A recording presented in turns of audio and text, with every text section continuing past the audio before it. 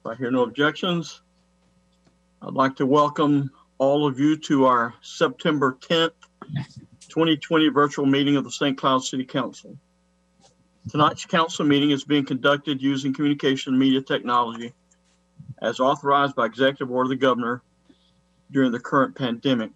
We appreciate your patience and assure you that your city council remains committed to providing the public a fair and reasonable opportunity to participate in council meetings.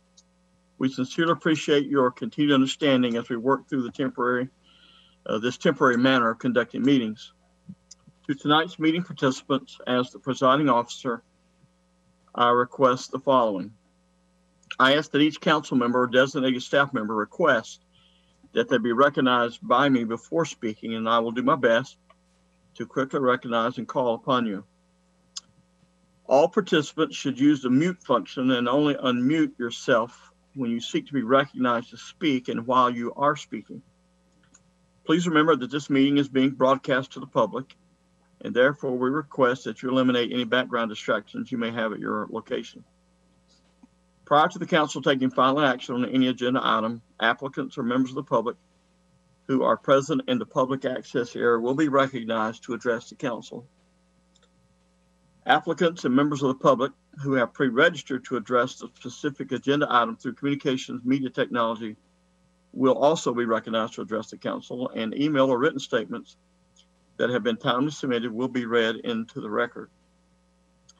In the interest of time efficiency and ensuring that everyone who wishes to address the council is given the opportunity to do so, the following will apply to all comments made by the public. Each speaker will be allotted three minutes to address the council unless such time is extended by the mayor or by questions from council. Groups shall designate a spokesperson to avoid repetition of comments. Every effort will be made to avoid interrupting speakers. Once again, we thank you for your cooperation and your patience and for participating in your city government. Mayor, your video is not on. It will be in just a second. I just noticed. They might prefer the picture, so. The first thing is that we have our invocation tonight. I would like for us to stand for a moment of silence as we remember uh, those who were lost in 9-11. Uh, so could we now have a moment of silence, after which we'll have our pledge.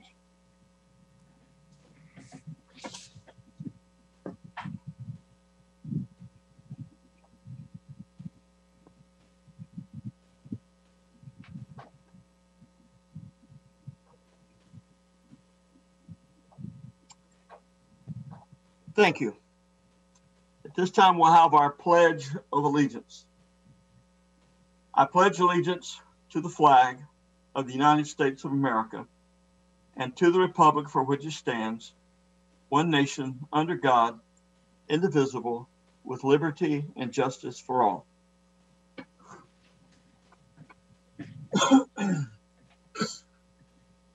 At this time, Madam Clerk, if you will, please call the roll. Mayor Blackwell, Here. Deputy Mayor Matheny, Here. Councilmember Cooper, Here. Councilmember Askew. Here. Councilmember Trace. Here. Thank you. At this time, we'll have our presentations, a presentation regarding uh, our water, an update. And Mr. Blackwell, um, Mayor, I just got a text from someone that the uh, feed isn't working right now, so I don't know if someone can check that out. All right. The feed on the website. Okay. Thank you. Jay, if you'll uh, try to give that your attention, make the feed on the website.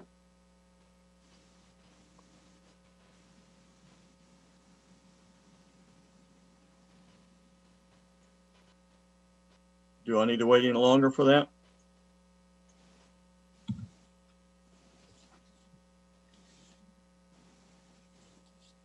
Mr. Mayor, since Yeah. you're going to be moving, you're going to be moving through presentations, I think at this point you're not doing action items. You could proceed with that, and we want to right. make sure that the feed is up when you get to the action items. All right, thank you very much. We'll begin with the presentation regarding the water. Miss Marjorie Craig, I assume, will be giving this update. Yes, sir. Uh, Thank you, Marjorie Craig, Environmental Utilities Director. And um, as we promised, every council meeting will be giving you a short update. Um, We will be getting some additional swabbing on Sunday, the 13th.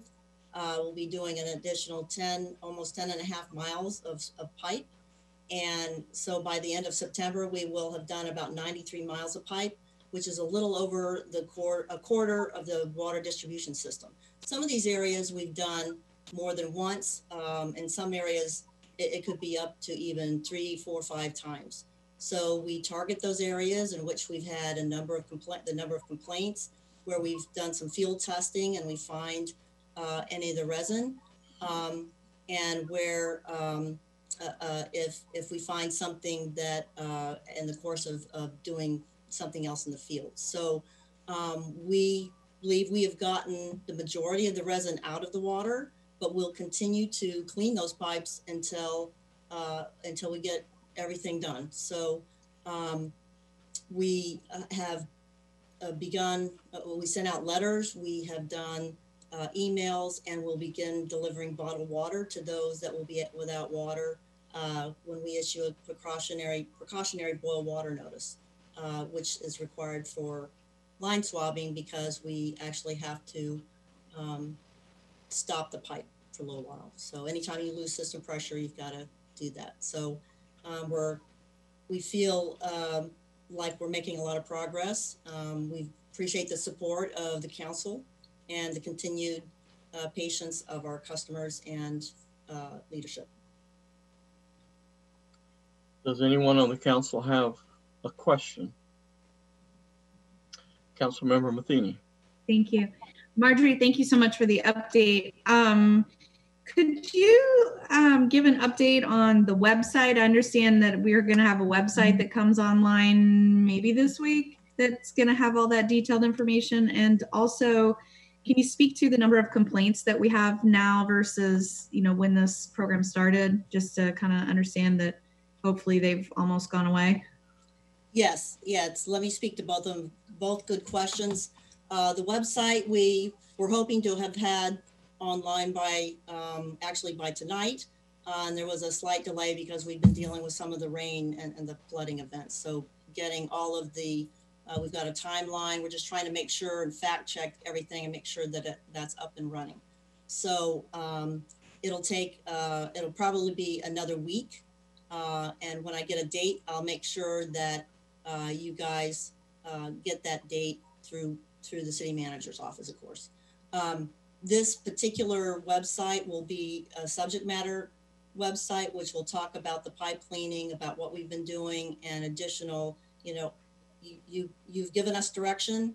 Uh, we're trying to provide as much information as possible. As I told you before, we're, we're used to kind of being behind the scenes and and just being able to do our, you know, but we want to make sure everybody knows what we're doing, uh, why we're doing it, and uh, what pro- progress we've made.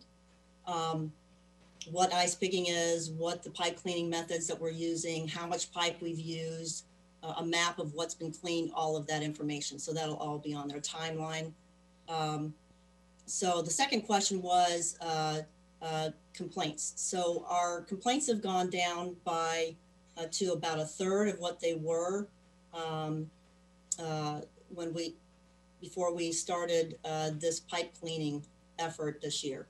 Uh, and so, uh, and in fact, in some areas, we haven't had any complaints since uh, May, uh, which would, would have been right after we had conducted some ice pigging and uh, some of the first unidirectional or, or the latest unidirectional and line swabbing. So um, it's it's actually still very um, we, we don't want any of those complaints uh, but compared to earlier this year uh, it's gone down by a huge amount Great. Thank you. Um, and I got one follow up, and you might not know the answer to this, but are you seeing any complaints in new areas that we didn't know about before? Or you know, you know, I'm just wondering if new complaints in new areas are springing up, or do you feel like we pretty much have the areas contained? So one interesting uh, thing is uh, I had a, this week had a, a heat map or created to look at customer complaints and uh, just related to water coloration. And we don't think that there are any complaints in new areas, any of the complaints that don't kind of fall within that corridor uh, of, of where we've been experiencing the complaints. Uh, we've been able to determine there was uh, hydrant flushing or some isolate some construction, broke some material loose, uh, something that caused that the complaints in that area. So the answer to that question right now is no. But if you hear of something else, please, please, please let us know. Okay, thank you. Thank you. And I do thank you for uh, that report and that update. Thank you so much. Do we have any other questions from council? Thank you, Ms. Craig. Thank you. This time we'll have a presentation regarding Osceola Heritage Park Master Plan.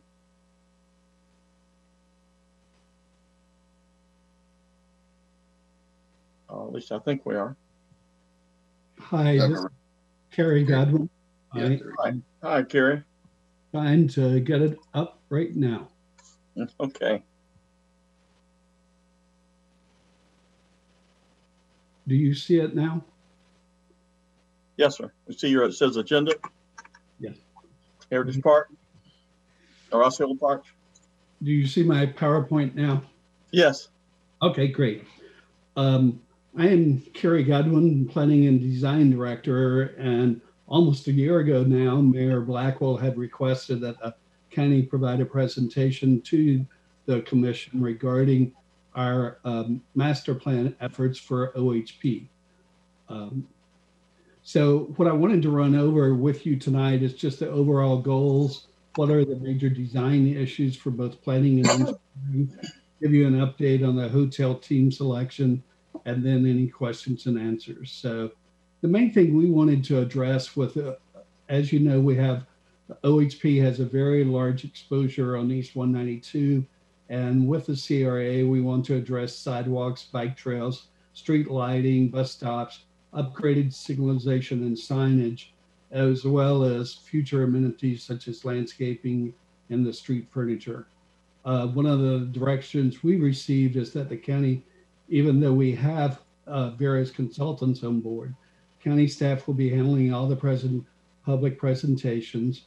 And the other direction, different from Neo City, as the parcels are to be leased within OHP, not sold. Um, one of the things we are working on is trying to coordinate the overall goals with the Neo City sign materials and it's been placed on hold, but the design should be going forward the next fiscal year as we want to do a large entry sign at the Turnpike exit at East 192 and what is now Cross Prairie Parkway.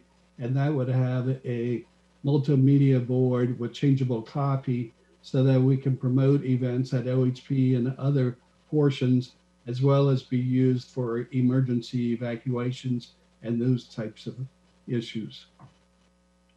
So here's the overall aerial of OHP. You see Fortune Road is on the north side.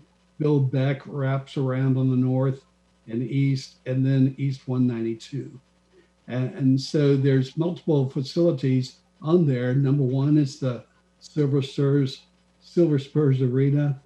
Number two is the Event Center. Number three is KVLS. Number four is the Extension Service. Number five is Slam Charter School, uh, wh- who is a tenant and some existing buildings there. And then we now have Orlando City Soccer uh, that's taken over the baseball complex. And you'll see one of the fields that's been converted to soccer in this photograph, but another two or three fields have now been done. Um, Johnson University, uh, the school district board building and gateway. And all three of those partners open up their facilities for the major events to be used for parking facilities when we have overflows. and then number 10 is the Florida Cattlemen's Association, which is an out parcel along Billbeck and East 192. Uh, this graphic shows the overall ownership by the county within that perimeter that I described of Fortune Road, Billbeck, and East 192. So you'll see that the county's been aggressive purchasing the rest of the property within those boundaries. And not shown is uh, the two parcels fronting out on Fortune Road have now been also closed. Um, the other out parcel you see is an agreement with Florida, uh, University of Florida for IFAS Extension Services. Uh, and that was related to the old location of their building before all the new buildings were constructed. So the major issues we want to address is to, to, really improve the four to five or four to six access points to include sufficient light left hand and right hand double turn lanes with additional length of stacking for major events. That, that's important for both the egress as well as the exiting. The internal section of the Shake Rag Road alignment may be realigned with the proposed internal loop road. And what we want to do is create an internal circulation so that you can move around OHP uh, without being blocked or having to go out on a public road. And then we're also looking at maybe opening up another entrance between Billbeck and Shake Rag Road so that we have a main entrance going in to the facility. One of the things that happens is if you're uh, a visitor for the first time, don't know where you're going, it drops you off right in the middle of OHP with the address and you don't know how to get there. And so that's some of the things we're going to be working on to try to resolve. Uh, we want to include multiple staging areas for the shared driving chauffeur services for venues to reduce the on-site parking needs. And we'll consider internal bus stops or shuttle stop bus stops for conveying visitors from off-site parking as well as hopefully Kissimmee Sunrail Station. Um, one of the things we'll be looking at, and I'll show you, is parking garages to allow for the lost parking areas with the proposed developments. These parking garages will be designed to have smart technology similar to some of the um, theme parks as well as hospitals where there's identification of parking space availability. And we'll consider um, looking at parking garages that have exterior ramps so that it's a faster exit. So we don't want our guests blocked in garages for two to four hours after an event trying to get out and go home. Um, and then we'll be showing you the hotel locations uh, and be looking in the future for covered walkways to connect all the venues. Um, one of the things that, which you would probably have seen on the roadway, but Bill Beck is going to be extended to the north. The northern extension is being worked on right now, connecting to Osceola, Osceola Parkway we have an agreement with the city of Kissimmee to connect it all the way south to Fortune Road. We're also working with the schools district on a new road adjacent to Gateway High that will connect from Billbeck Boulevard to Simpson Road so that you know there's a big backup at Simpson Road and some of that school traffic we could get off 192 and have that internal road into Gateway High. Um, part of our study is also in coordination with our transportation and transit department and looking at the area wide improvements uh, that they have underway. Um, our consultants have completed their task number one, which was the existing property research and what goes on. We have several new proposals from the engineering to go forward with infrastructure plans uh, a couple of things we've already resolved is number one, there is sufficient lift station capacity off-site so that there's no requirement for new lift stations within the facility. And that we're also looking at moving the existing stormwater ponds off-site and uh, convey that water to Neo City which would be expanded through the canal into their lake. Um, Kind of addressed some of this. With this, we'll be doing an overall master stormwater plan as well as a master utility plan. And we'll be looking at the cost of the fill for those lakes. Um, I've already addressed all of those. In December 2019, the County Board of Commissioners approved the ranking of the hotels per the selection committee, and Riviera Point was selected as the number one candidate. The county manager is authorized to negotiate with Riviera Point for the development and operation of the hotels. Um, the reason why Riviera Point was selected is they just demonstrated an economic approach for four different hotel sites. They provided information on the management appro- approach, have, having worked with public events venues for block booking and aligning the hotel marketing to the venue marketing. And they provided an approach that showed they understood the East 192 CRA corridor standards and they modified their site plans to meet those standards. Um, here's the introduction of the Riviera Point. Carlos Chuan is the finance and asset manager that we're working with, along with Eduardo Tessa. And then they have their team there. Um, here's their background. You have the PowerPoint. You can go in more detail later if you want to. The exciting thing about this, this is of course uh, projected for the four hotels when built that there would be up to 1,800 direct and indirect jobs with 300 permanent positions with salaries ranging from 45,000 to 160,000 and an hourly rates from 10 to 20 dollars per hour. And then the other exciting thing I think is the bed tax would be with all four hotels would meet about $2 million a year. And then the property taxes would be $3.5 million a year. So we're looking at ways that the, these facilities can pay for themselves and help support themselves within our county facilities. So there are actually four hotels. I'll start with number one, and will probably be the number three hotel to be built, but it's a large conference hotel located at the corner of Fortune Road and East 192. There are two smaller hotels that would be at Bill Beck and East 192. And the fourth hotel would be within Neo City, overlooking the civic space. Uh, this is kind of how it would look from a massing standpoint of the two hotels uh, along Bill Beck with a parking garage, the conference hotel um, at Fortune Road with another parking garage.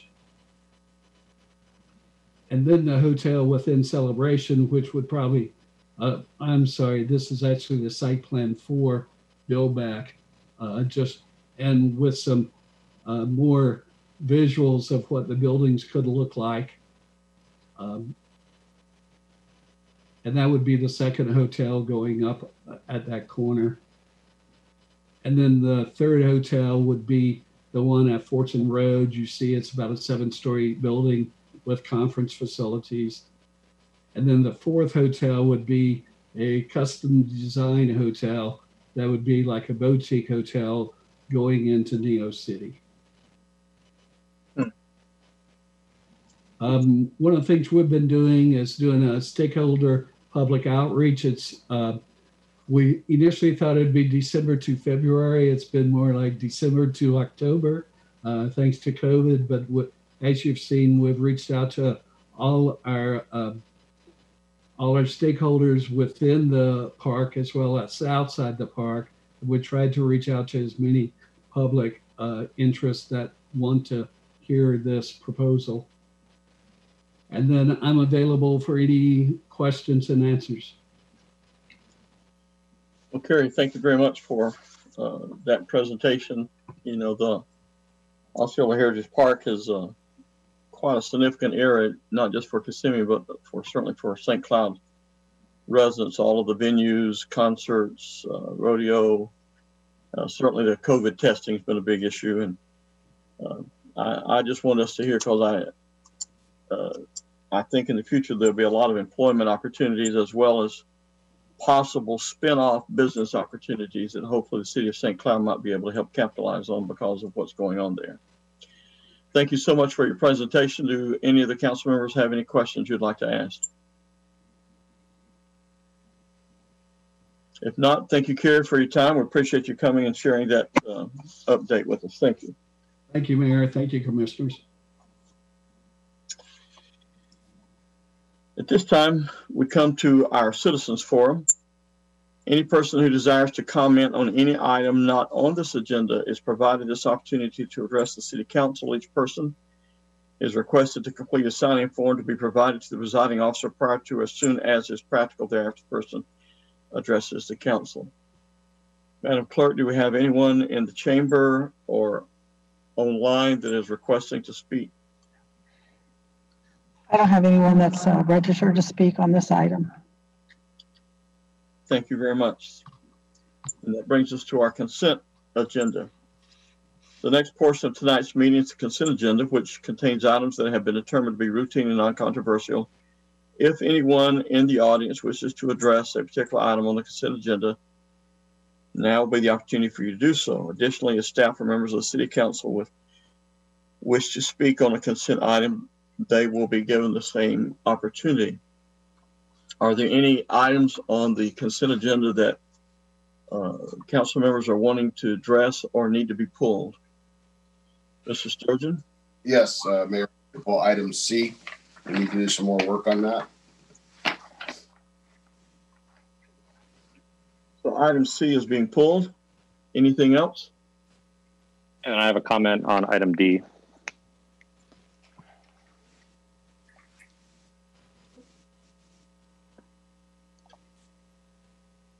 Anything else? Then we will go to item D. Mr. Trace, you're recognized.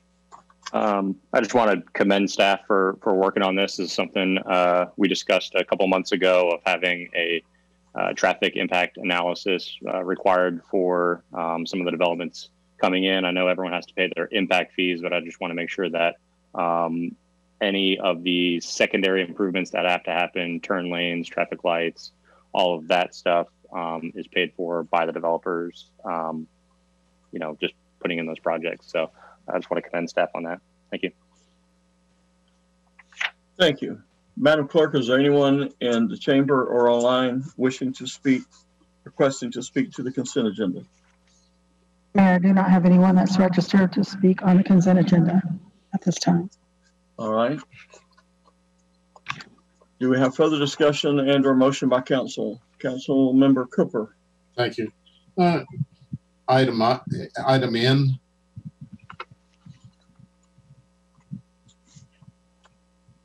Bill, could you give a little bit of highlights of what, what we're gonna get for thirty-three thousand dollars or I'm gonna ask, um, Stephanie to cover that if she's on Okay. here, not a problem? If I could. Mayor, can I recognize my Parks and Rec Director? Go right ahead. Thank you. Stephanie?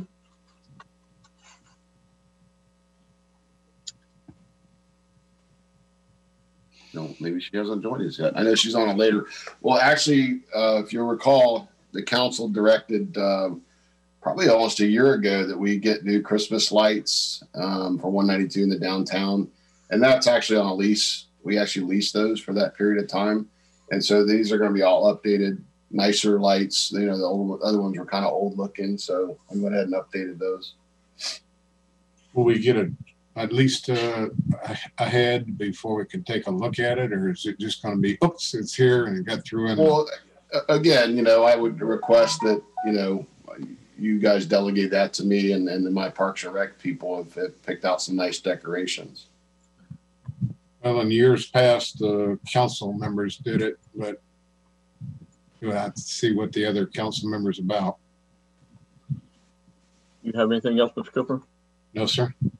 Councilmember I'm delegating that to, to Chuck. Um, Stephanie is actually trying to get on. She's texting me saying she's on. So Stephanie, can you get on?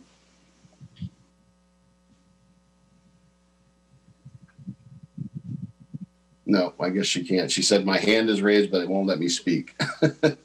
So we'll have her log back on for later. We need her later. All right, Councilmember Matheny. Um, I was just waiting to make a motion, but with regard to the decorations, when um, a couple years ago, remember I got really involved in the 100th anniversary of the tree lighting and, and worked with Stephanie and her staff. And they spend a lot of time going through and looking at different um, options and making sure that it's pretty. And I, I'm fine with with the staff still handling that. I feel like they do a great job. Um, I, don't- I don't think that's something. Um, we're not the tastemakers, I don't think, of the, the city, but I'm fine with continuing to let her staff handle that. They do a great job. Do we have any other input from council? I see Stephanie, uh, you're here. Would you like to speak to this item? Yeah, this is just a, we're renewing our contract with the Clark's uh, Sales Display for all the holiday lighting. I just want to make sure this is an agreement um, for all of the decorations on 192 light poles, the decorations on Lakeshore light poles, the Christmas tree that sits in front, in front of City Hall, and then all of the pole wraps in the downtown area. So Pennsylvania, New York, and then the side streets, 12th, 11th, and 10th Street. That's what this includes. Mr. Mayor, Yes, Mr. Cooper, Councilman Cooper. thank you. So I guess that uh, OUC would still put them up on the, on the poles? No, that, this, uh, this contract includes installation Okay. of the decorations. Okay, that was the question. Thank you. Any other questions? If not, then could I entertain a, a motion for the adoption of the consent agenda? Motion to approve the consent agenda, um, pulling item C. Thank you, Councilman Matheny. Do I have a second? Second. We have a second from Councilmember Trace. Madam Clerk, will you please call the roll for the adoption of the consent agenda minus uh, item C that's been pulled. Councilmember Askew, Aye. Councilmember Trace, Aye. Deputy Mayor Matheny, Aye. Councilmember Cooper, Aye. Mayor Blackwell, Aye, motion carries five zero. thank you. Brings us to public hearings. Uh, Madam Clerk, would you please read item number one? First reading and introduction for ordinance number 2020-26, an ordinance of the City Council of the City of St. Cloud, Florida, amending Article 3, Division 20, Section 3.20.2, fences, walls, and hedges, and Article 3, Division 20, Section 3.20.21, flood damage prevention of the Land Development Code, providing for a higher standard to the city's National Flood Insurance Program community rating systems, and to adopt technical amendments to the Florida Building Code, providing for severability conflicts, codification, and effective date. Who do we have to speak to this item? Uh, Mr. Mayor, Yes, uh, this is uh, Bob Dethridge. Can you all see? Not yet, not your presentation, not yet. Okay, please bear with me.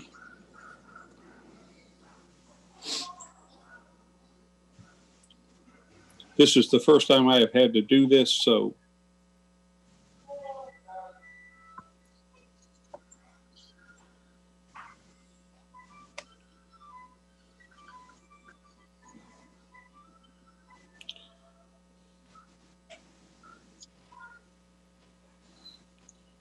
There, we have uh, a presentation, I believe, on the board now. Okay, that is not what I was looking for, but okay, so I, I can work with this. uh, since 1980, the city of St. Cloud has partic- participated in the uh, National Flood Insurance Program community rating system in order to mitigate flood damage in our community and to save our residents on their flood insurance premiums.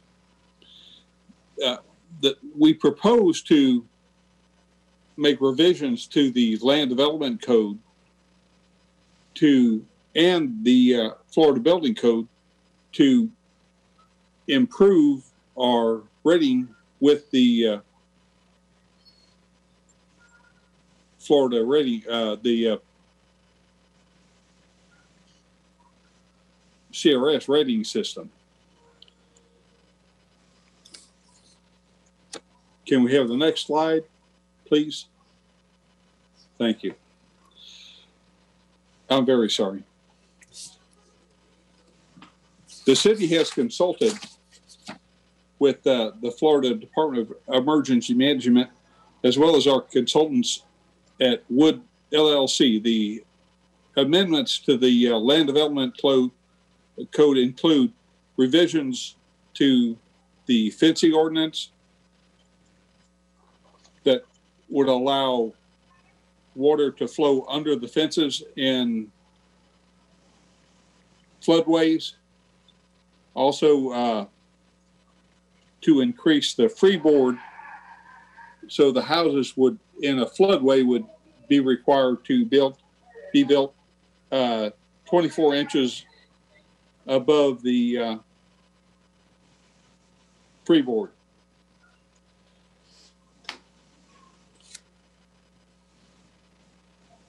Can I have the next slide, please?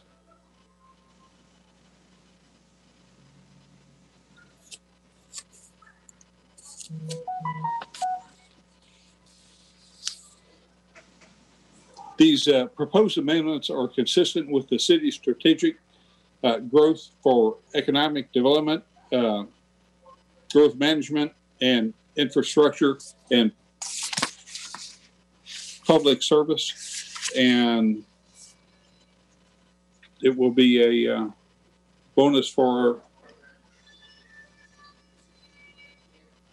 citizens.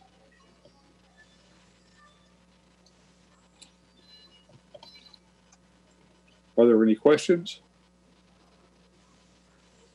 Are you recommending the approval of this ordinance? I certainly am.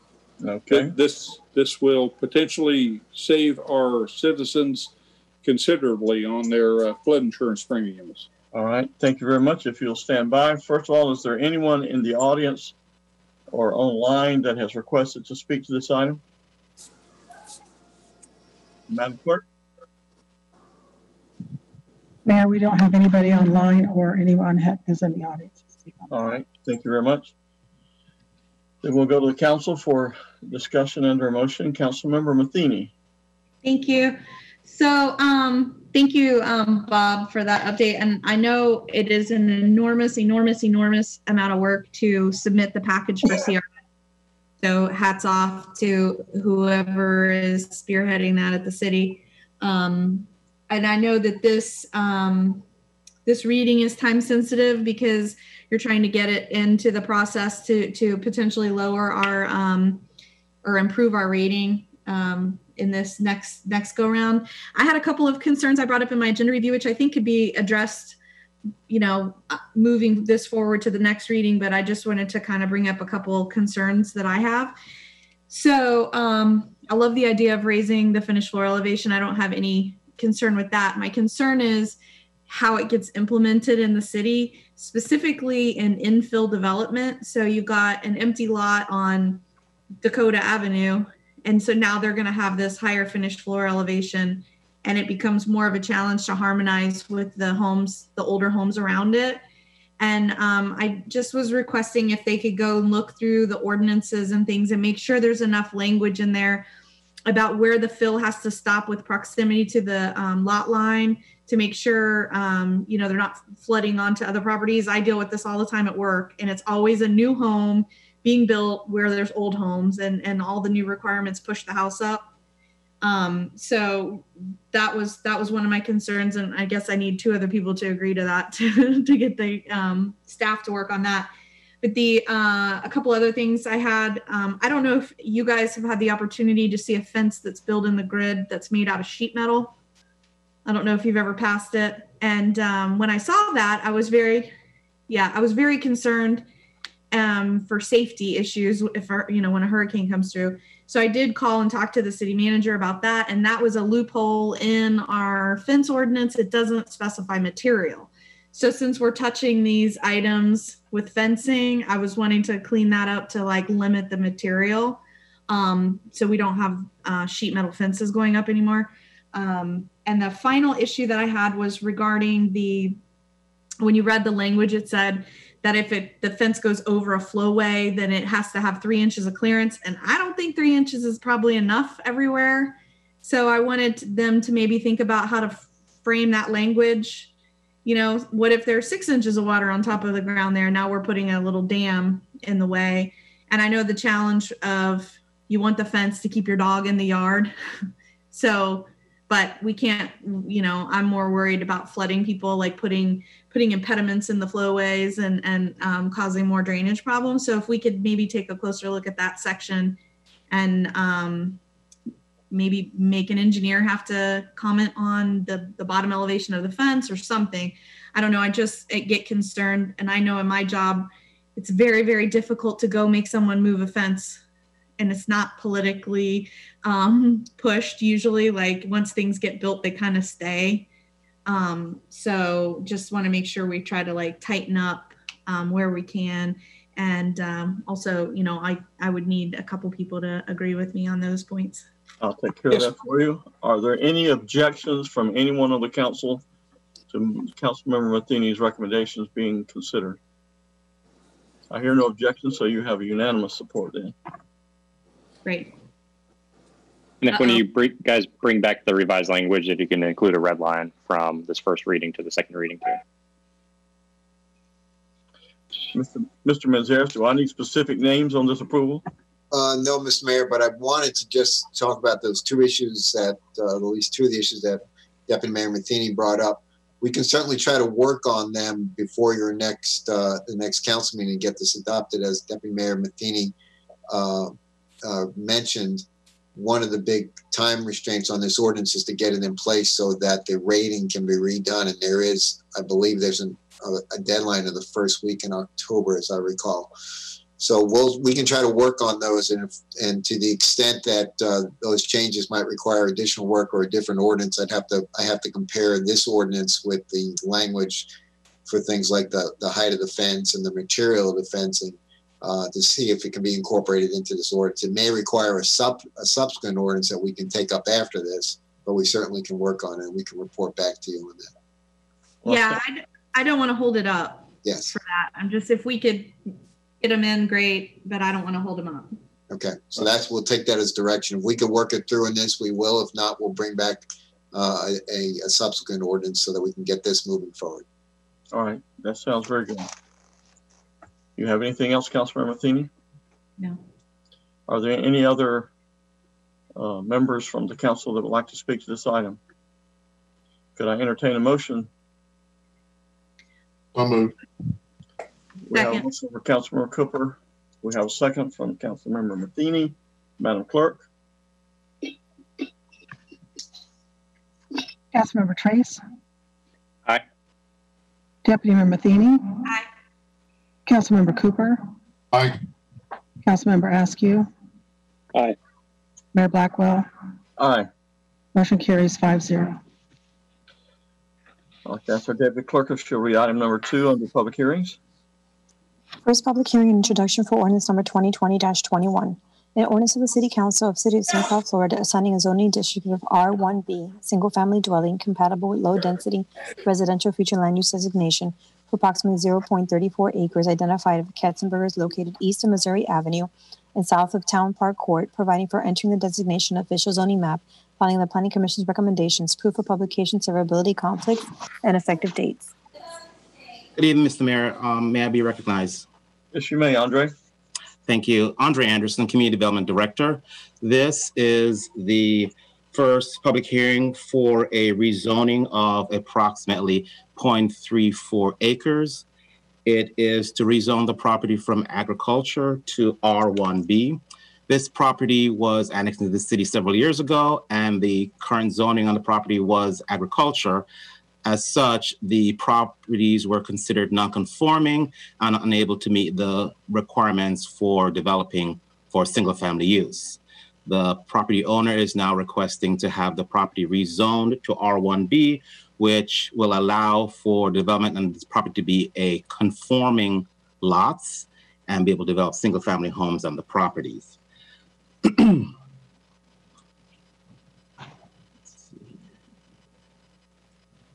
Sorry. One second. There we go. Um, as I said, it's R1B, it's low density residential the future land use map. It's compatible with the surrounding area and there are no adverse impacts to city facilities at this time. It's consistent with the growth management goal and staff at its meeting during the DRC in, in May recommended approval of ordinance 2020-21. The planning commission at their meeting on August 18th, 19, 2020 also recommended approval of ordinance 2020-21 based on the 16 findings in our land development code. And we also asked that the city council um, recommend approval of ordinance 2020-21. I'm available to answer any questions. Is the applicant here wanting to speak to this? I am unsure. I do not Okay. think so. Madam Clerk, Madam Clerk, is there anyone in the chamber that is requesting to speak or online? Mayor, I do have Gary Fitz, the applicant, registered online. Okay. Somebody needs to mute their microphone, sounds like if you got commotion in the house. Did you say, is Gary here, you said? I'm here. Can you hear me? Yes, I do. You can speak. I just uh, am, am availing myself if the commission has any questions. Uh, as they stated, I'm just trying to bring them into conformity with the rest of the area and hopefully improve the area and increase your tax base. All right, thank you very much. Does anyone on the council have any questions you'd like to ask? If not, do I have a motion for the approval and adoption of ordinance number 2020-21. So moved. We have a motion- we have a motion from Councilmember Cooper, a second from Councilmember Askew. Madam Clerk? Deputy Mayor Matheny? Aye. Councilmember Cooper? Aye. Councilmember Askew? Aye. Councilmember Trace? Aye. Mayor Blackwell? Aye. Motion carries five zero. Well, That's our deputy clerk. If she'll please read item number three. The public hearings. Public hearing and resolution for twenty twenty one eighteen R, a resolution of the City Council of the City of St. Cloud, Florida, granting conditional use to operate a transportation use of public utility and service structures for a bus depot at fifty-eight thirty-five Lake Lizzie Drive and fifty-seven zero two Nova Road, St. Cloud, Florida, as described in the body of this resolution. And may I be recognized? Yes, Mr. Anderson? Again, Andre Anderson, Community Development Director. This is a request from the School District of Osceola County for a conditional use to locate a transportation bus depot. The request falls under the provisions for utility, um, public utility and services structures. The property is approximately 131 acres, and the request is to allow for this bus depot. This property is a property that the school district proposes to um, use in the future for this bus depot as well as a future high school um, in several years. the future land use on the property is low density residential. The zoning is agriculture. And as I said, per the land development code, to locate any type of public utility services, you'll need to have a conditional use within the agricultural district. The development is compatible with the general development pattern in the area, and there are no adverse impact to public facilities at this time. This request is consistent with our growth management strategic goal. And we held a community meeting via communications media technology or the Zoom back in July. Um, and it was done virtually, and we had a few attendees. Uh, no issues um, came up. The school, the school district was in attendance at that meeting. DRC and staff recommends approval of resolution 2020-118R, subject to three conditions The first of which is that the frontage road along Nova Road shall have a higher landscape buffer. The second is that all maintenance activity related to the bus depot shall, that, that is within 300 feet of residential, shall be located completely within an enclosed building. And third is that a traffic impact analysis is required for development, site development purposes. Um, we have had since, um, well, let me go to the next slide. Um, this also went to the planning commission. The planning commission also recommended approval of ordin resolution 2020-118R. And in addition, um, also uh, upheld um, staff's recommendation. Since the planning commission meeting, the school district was in contact with staff and provided some responses to those conditions. We have had discussions with um, the school district representative and uh, have come to a um, slight revision to the condition um, condition one, um, requiring frontage along Nova Road, um, we will be working with the school district um, in the future on this component, being that the entire property is not being used for a transportation bus depot, only a portion. So we ask that the while while the conditions would apply to the entire property, the specific conditions related to the maintenance facility or the frontage along Nova Road be limited specifically to the portion that would be encompassed by the bus depot. In the future, when the remaining portion of the property is developed for another use, then we would look at um, how to apply the conditions to that remaining portion. So just to kind of recap, the conditions that are recommended are still in place. However, we are limiting the conditions specifically to the portion of the property that contains the bus depot. If you have any questions, I'm happy to answer them. I believe that the applicant is available online. Would the applicant like to speak to this item?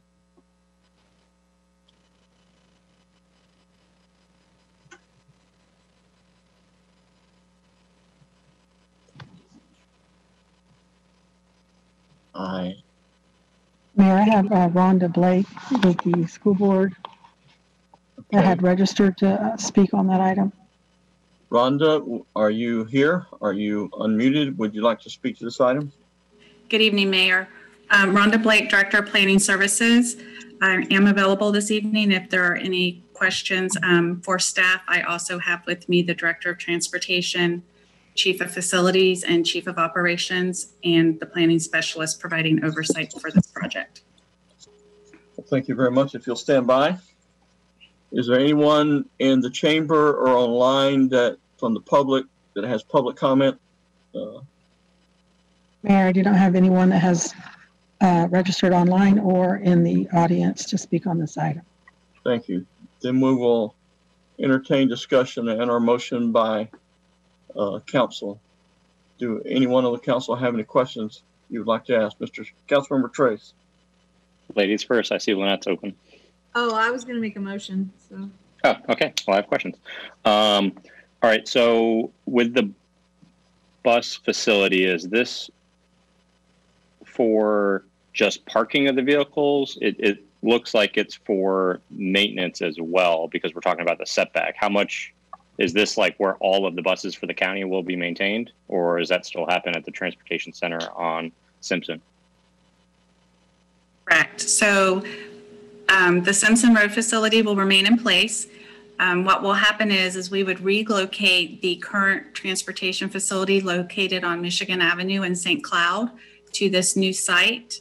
Um, currently, it would hold about 80 buses with additional emergency buses on site.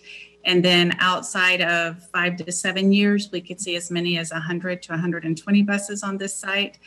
Um, what that will allow us to do by vacating the Michigan Avenue site is to relocate our maintenance complex, which is currently on 10th and Virginia, over to the Michigan Avenue site. And then we will finally be able to put the 10th and Virginia property up for sale to better meet the needs that we've been discussing with your staff for several years now.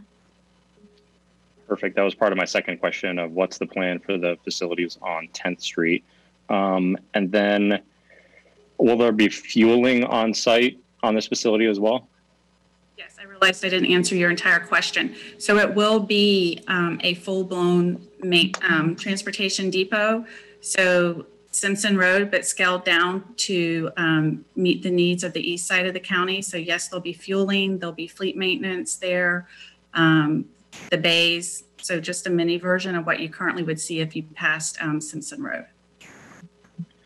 Okay, um, because, and this isn't part of kind of this application, but uh, part of my uh, trouble with some aspects of the code is if someone wanted to put a gas station, like a normal gas station, fueling station on this property, is that something that, you know, would be allowed, or is that just kind of this way that it's part of the ag and it's a part of a, a school facility and it, it kind of skirts around um, some of those requirements? Because typically for some of these aspects, there are a lot of buffering and noise requirements and, and a bunch of other requirements. Um, if this was a full blown fueling facility or, or industrial facility. Mr. Tracy, you're asking a question to me, to staff, or Yes, to sir. school? Okay.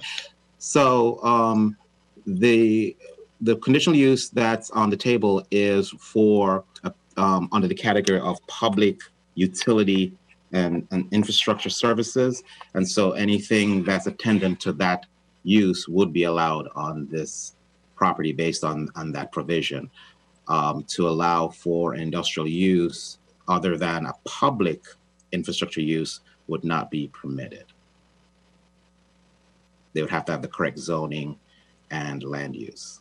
But because it's a public facility, it essentially um, um, is, I wouldn't say exempt, but it's, it's specifically permitted based on that category of use. Um, it's just something for us to, to look at in the future for some of these um, pro- properties. And then, do we have a timeline of the relocation of the Michigan and 10th Street um, facilities? Like, is that in the five year capital plan? At this time, we would be looking at somewhere within um, five to seven years for this facility. And then the high school is outside of 10 years.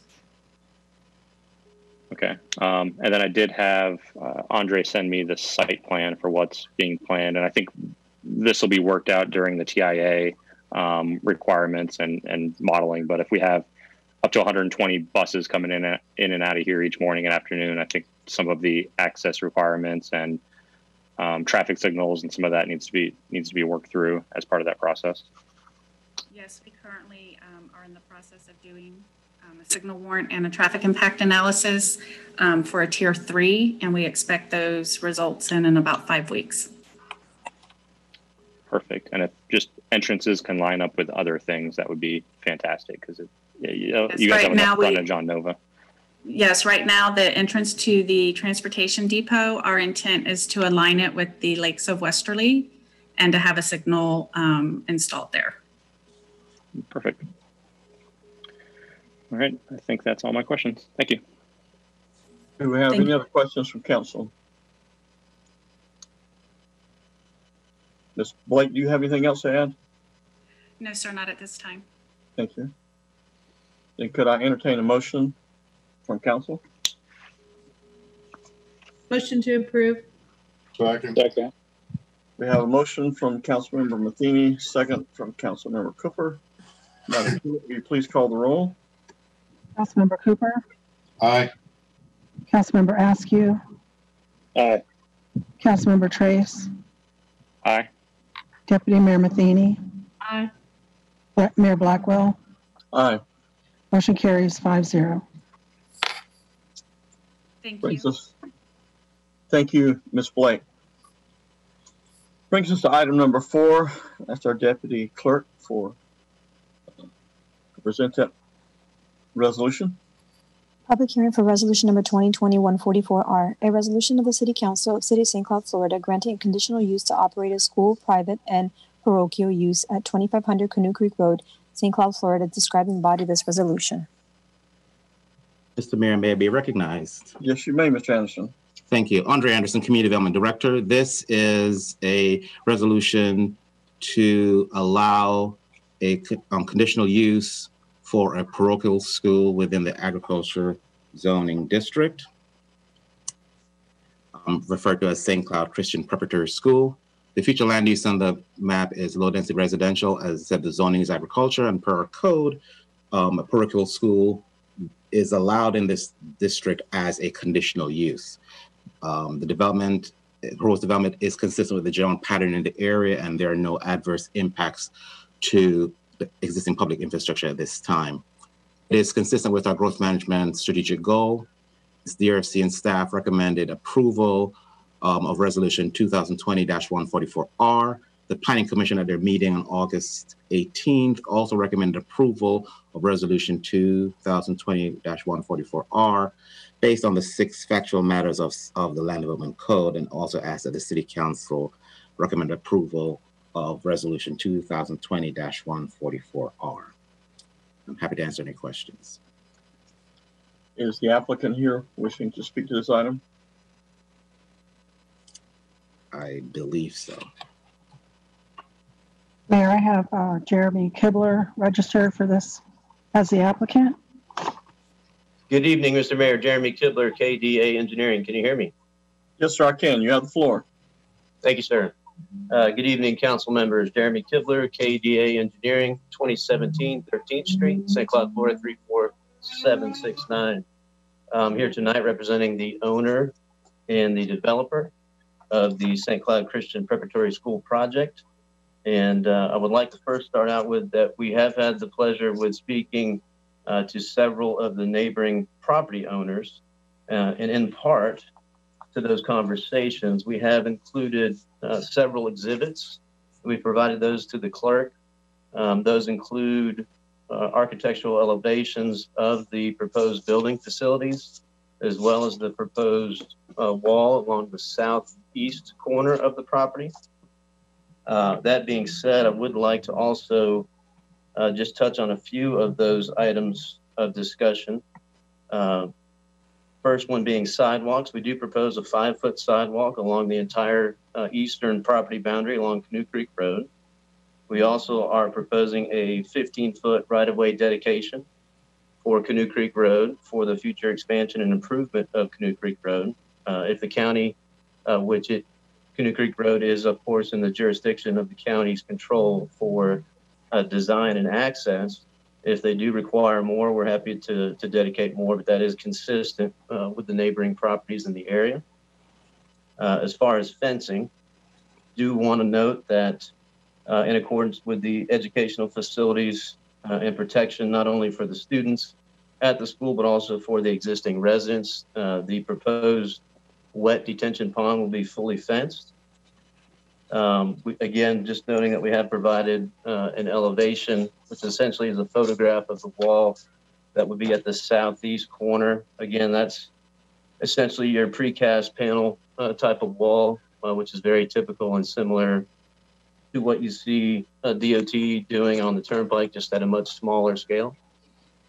Uh, additionally, would also like to touch on the buffers. Um, we've provided a 25 foot medium buffer essentially around the entire project, except for the only area where we can't, which is the southeast corner, and that's where the wall uh, would be located. And the intent there uh, is really to preserve uh, as much of the existing vegetation as possible. That this is what we've heard from the residents uh, that is desirable to them. Uh, we will work with them and remove uh, exotic and non-native species, invasive species, uh, and replace those with native uh, species in accordance with the St. Cloud LDC. And uh, I believe that covers most of, of all the topics. I'm here to answer any specific questions the council members may have, and we ask uh, for your recommendation uh, of approval, as the Planning Commission has also done so as well. Thank you. Thank you, Mr. Kibler. If you'll please stand by. Madam Clerk, is there anybody in the chamber or online to speak to this item? I did have a Robert Sembler or Simple uh, register online. I don't know if they had registered to view the meeting, but they did leave a statement. Okay, would you please share the statement? He states, uh, school at 2500 Canoe Creek Road. My property backs up to the proposed site. There is a low-lying area with a small cypress swamp. When it rains, this water drains onto parts of my property, causing some flooding. I am requesting that the water runoff from the school be diverted away from my property as more water may flood my entire property. His address is 3251 Bailey Road. Thank you. Mr. Kibler, would you like to speak to this concern? Uh, certainly. Can you hear me still? Yes, we can. Uh, good evening, Jeremy Kibler, KDA Engineering again. We are aware of, a, of an off-site conservation area, which would be the northwest corner of the property. Again, we do intend on preserving as much as we can in that particular corner.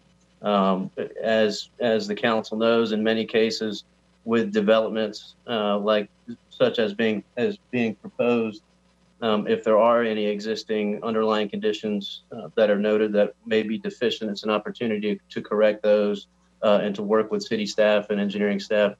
Of course, uh, any of the stormwater management facilities will not only need to be approved by the city of St. Cloud, but also the South Florida Water Management District in this particular case. Thank you. Would anyone on the council like to speak to this item or ask any questions? I, oh, sorry, Councilmember Matheny, they changed the screen on me. Councilmember Matheny. Thank you.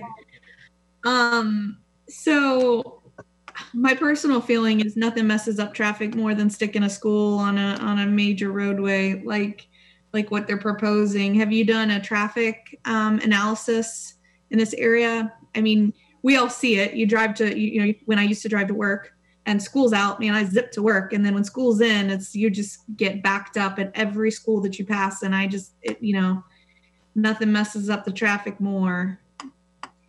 Sure, sure. Uh, Jeremy Kibler, KDA Engineering again.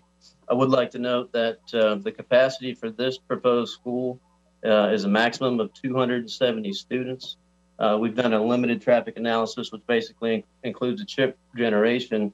If we use the IT 10th generation uh, and we look at PM peak hour trips generated by the proposed project, which is essentially uh, the, the methodology utilized for levels of service, um, on Canoe Creek Road.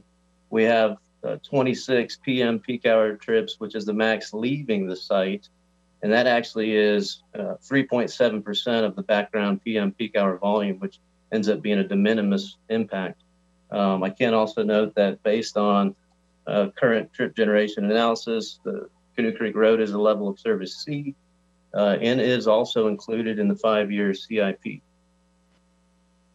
We do believe that um, the existing striping uh, on Canoe Creek Road uh, actually lends itself quite well to what we would call an offset uh, intersection with the adjacent uh, project on the opposite side of the road. Um, it does meet, based on our analysis, does meet county LDC, which is the you know the entity, the jurisdiction that would review and approve uh, the proposed access. we feel that it can be safely and efficiently achieved. Jeremy, did you say 270 students, but your PM peak is 26 trips? Did you? Is that what you said, or did I mishear that? Is that? Correct. That is correct. Keep in mind, we do. It is K K through 12, so that that also factors into the overall calculation as well. Uh, Mr. Kibler, would you have the AM peak hour trip generation? Because I think on schools, because they let out before that 5 to 7 p.m. range, the AM might, the AM incoming might hit that a little bit higher of a trip generation. Sure. Sure. The AM, the AM uh, peak hour is, of course, higher than the PM peak hour, but as we know, uh, the oh, the volume of Canoe Creek Road in this particular case is governed by the PM peak hour. I don't have the uh, the A, the AM peak hour for Canoe Creek Road in front of me uh, right now, um, but it is uh, much less than the PM peak hour volume. But do you know what that generation would be from the site? I do not have that in front of me right now. What I can say is, um, of course, you know, in this particular circumstance, um, the, the county will require uh, a traffic impact analysis prior to any uh, permitting efforts. Um, so uh, we can also agree to provide any results to the city at the same time. Um, but I do not have that that calculation in front of me right now. And uh, sorry, Deputy Mayor Matheny was still. Oh, I'm done. I'm done. That's just, you know, I just don't like to see schools sited on these major roads. I just know what, what it does to the traffic. Um, and, and I agree with Councilmember Trace. It's the, it's the morning that's gonna mess you up because obviously the PM, um, there's not people leaving the school. And then on a, a lot of those studies were based on, you know, 80% of the kids getting bused like a normal public school. On something like this, it's probably 100% of the kids are getting picked up and dropped off by four wheeled vehicle, correct? Uh, I wouldn't say quite 100%. You have uh, many, uh, you know, th- these particular uh, folks, the developer has many of these uh, schools throughout the county in, in, operation, and it really comes down to an operational plan, um, which I was going to go ahead and add. Uh, we have an operational plan for interior traffic circulation. You have the stacking and queue that's included both in the right turn lanes and the left turn lanes that, that are offside as well. Um, so really what it is, is the staggered uh, drop off and pickup, and, and that's controlled uh, through the facility. Um, we can, you know, of course, agree to monitor that uh, throughout uh, the course of the project. I mean, that's going to be done already, but we can we can uh, commit to reporting to the city and providing any, uh, you know, analysis on an annual basis uh, if that was something the council would like to see. But we do feel that there is adequate storage and circulation um, to achieve uh, safely the 270 student max that's being proposed here. And and how many? Um, because I guess you're just going to serpentine through the site. I you know, and there's parking spots as well. How many spaces or cars do you fit in the serpentine fashion? Based on the interior uh, traffic circulation, uh, you're you're approaching 80 vehicles or so, and you would also have additional vehicles that could queue uh, which I know this, this school district has done in the past, uh, in the in the turn lanes if that was necessary. Um, of course, it's not a not a first option, but um, and we're happy to provide an exhibit if we need to, to do that at the next stage with the site development plan uh, to show that uh, stacking and the, and the number of vehicles that would be allowed there. But essentially, you would enter it into the project, uh, make your immediate right, and then circulate around the, the property so that you'd have uh, a pickup and drop off area adjacent to the educational building facility on the what would be the east side. And then, um, you know, what I've seen for other schools that have some of these charter schools that have pickup and drop off, I saw one that has four lanes and four cars deep, all on a covered area that pick up and drop off at the same time. So 16 kids can load and unload at the same time. Um, and all cross safely. Is that uh, is that how you guys are setting this up? I, the the layout wasn't sent to us as part of the uh, backup, so. Sure, sure. Uh, as part of the operational plan, the intent is the it would be two lanes, not four, but it'd be two lanes uh, that would uh, traverse uh, cohesively to the south and adjacent to the pickup area, um, which would be the east side of the educational building facility.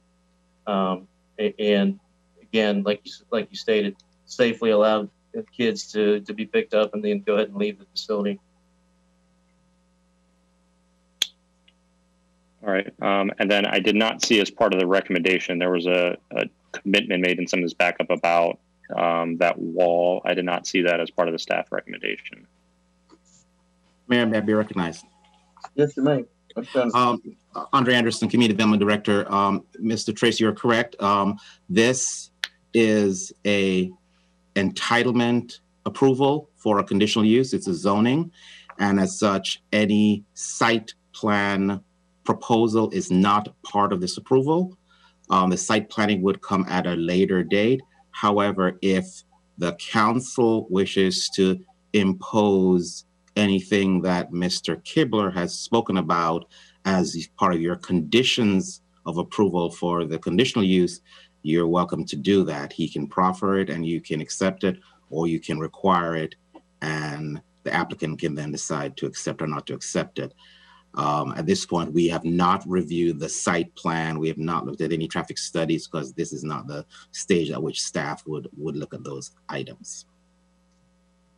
Okay, because this item looks very similar to the last one that was up here, and there was um, comments and commitments made that were part of that record as well. So I just I figured it, That it is was the same way. correct. That is correct. Um, we did not make any recommendations of any additional conditions. However, the council is welcome to impose conditions. Okay, I just I just want to point out I have serious concerns about the the stacking and the pickup and drop off of, you know, if this goes to a different operator and they don't have the same operational plan or operational efficiency for that pickup and drop off, and it just snarls that whole area and it's only a two lane road, so it's not. I, I don't know. So I'll let someone else go. Councilmember Matheny, you're.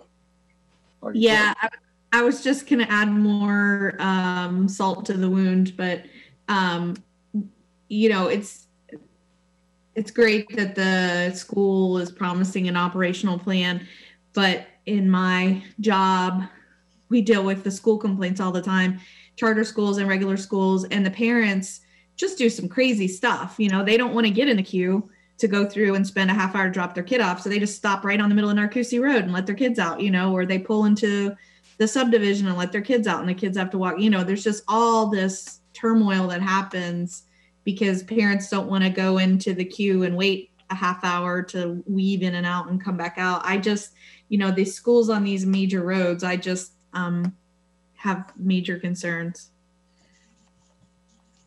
If, if I may, I, I don't know if I can address that, Jeremy Kibler again. Go ahead and speak. Um, we'd be happy to, if, if the council, uh, would be willing to consider, be happy to, and I, again, I'd fall back on Mr. Mantzaris. Um, if, if there were operational concerns or issues, uh, that became, uh, transparent, uh, down the road, that the conditional use could be revoked uh, at any point in time if, if the issue wasn't corrected. Uh, we certainly, certainly feel that we can achieve uh, what we're, what's being proposed here tonight uh, in a safe and efficient way. And if we can't, um, and it becomes an issue, we're certainly uh, happy to to state that it could be revoked if that's a possibility. I don't know. Mr. Mantzaris, do you have any input for us? Well, that certainly is something that you could put in a conditional use permit. Uh, the, we would have to try to draft some language, and I'm not sure we can get that done tonight, that would address that. Uh, uh, essentially, there could be a, some triggering language in that if the either tied to stacking or tied to overall traffic issues, uh, that the matter could be brought back for the to the city council for consideration or revocation of the conditional use permit. Uh, I will tell you though that that can be problematic because a future city council is going to have to sit there with a school that is operating with 200 and something or so families whose kids are going to that school, and it's going to put that that council that has to make that decision in a very difficult position. I understand. Do we have any other discussion or motion and or motion by council? But Mr. Mayor, may I make another comment? Yes, you may. Mr. Uh, good evening, Jer- Jeremy Kibler again. I appreciate appreciate it, Mr. Mayor. Thank you for your time. Um, I would just like to add again, just to just to repeat that, of course, the you know the access, the circulation, the stacking, uh, the offsite design of the turn lanes and storage lanes, that all has to be uh, reviewed and approved by Osceola County. Even if we were to get the conditional use approved here tonight by council, um, there, there's certainly a, a possibility that the county would not uh, grant an access permit and the offsite design necessary to support the project, and it would it would stop basically at that point in time anyway. So I would just like the, the council to consider that as well. Thank you. Councilman Askew. Yeah, I, I'm um, I'm having a hard time with this one. When you put a big school like that and 250 kids doesn't seem like a lot, but it is when you already have a road that's a C rating. Um, I'd like to see some kind of traffic study that literally shows that this is this could work because once it's built, there's no way of stopping it at that point. Um, so I know Jeremy, do nice work. I just uh, this one is this is tough uh, just because I'm afraid we start building this thing, our citizens are going to blow a head gasket we find out we're going to put more uh, demand on Canoe Creek Road, which is problematic as it is right now. Mr. Mayor, may I address? Yes, you may. Um, I would, uh, I would respectfully ask uh, the council if that is something they would like to see that uh, we go ahead and continue this particular item. Uh, perhaps um, uh, maybe two council meetings down the road to give us ample time to prepare a, a study that um, that the council can review as part of this approval and maybe and maybe gain a better comfort level at that point in time. Mr. Mr. Mantzaris? Uh, well, actually, before Mr. Kibler made that request, that's what I was going to suggest because the council obviously needs additional information, and I was going to ask him if he, based on that, whether he wanted to ask for a continuance. So I think it would be appropriate for you to consider at this point uh, because he's asked for it to provide some additional information and um, continue it for the 30 days. Thank you. Councilmember Trace. Um, and if as part of that, if I could just um, ask uh, for staff to review that site plan as well and have some site specific comments because I, and I don't know if that's just not a requirement of the conditional use and we probably just should just fix that to where it, these conditional uses are very site specific and there are there are needs and requirements of things that happen around it um, or because of it. So I think that should just be part of the process. Mr. Mayor, may I be recognized? Yes, you may, Mr. Anderson. Thank you. Andre Anderson, Community Development Director. Uh, Mr. Trace, um, the reason why this is not being reviewed at this point is because what you have or what the applicant has submitted is a conceptual site plan and not a actual site plan that meets our site development standards for review by our development review committee. So if the council wishes for staff to review a site development plan as part of a conditional use permit, then we will need for the applicant to submit a formal application that would include an application for DRC and all the requisite forms, fees, and then we would review it as part of the conditional use. Otherwise, we are reviewing a con concept plan that is not actually engineered. Councilmember Trace. Um, if, if the applicant wants to make that application, I just don't think that's a, a 30 day process to get that through and then to a public hearing. So um, it just it just seems like a, a, interesting way to try to make a decision on this without all of that information um, reviewed and uh, approved by staff. Mr. Mantzaris, do you have anything else for us? Uh, no, sir, other than to make the general comment that uh, the applicant obviously, it behooves the applicant to provide more information to make the council make the best determination it can. Uh, I think Mr. Trace's comments were uh, are, are, appropriate, and he's he's kind of telegraphing a little bit about what he'd like to see if he's going to consider this item favorably. And I think uh, that's some good information for the applicant to have. With that being said, if the council wishes to continue it for uh, for 30 days as requested by the applicant, you certainly can do that. That will be a continuation to the October 22nd meeting. I'm sorry, October. October, that would be October 8th. October 8th. I'm sorry. Mr. Mayor, may I also be recognized again? Yes, you may, Mr. Anderson. Thank you. So um, if the applicant is considering the continuance of this item and the possible submission of a site development plan, 30 days will be insufficient time for the DRC to review, convene, and make a decision on the site development plan. So how much time would you need? Again, it's really up to the applicant because typically when we review it, our DRC gets scheduled anywhere from 30 to 45 days. And then if there are revisions, the applicant then has to make those revisions. So it's really, it could be as much as 60 days before we even have a final decision on an application, just because of the length of time it may take for the applicant to make revisions that staff may request, in addition to the fact that the county would also be involved in that review process. Uh, Mr. Mayor, uh, Jeremy Kibler, if I may. Yes, you may. Kibler?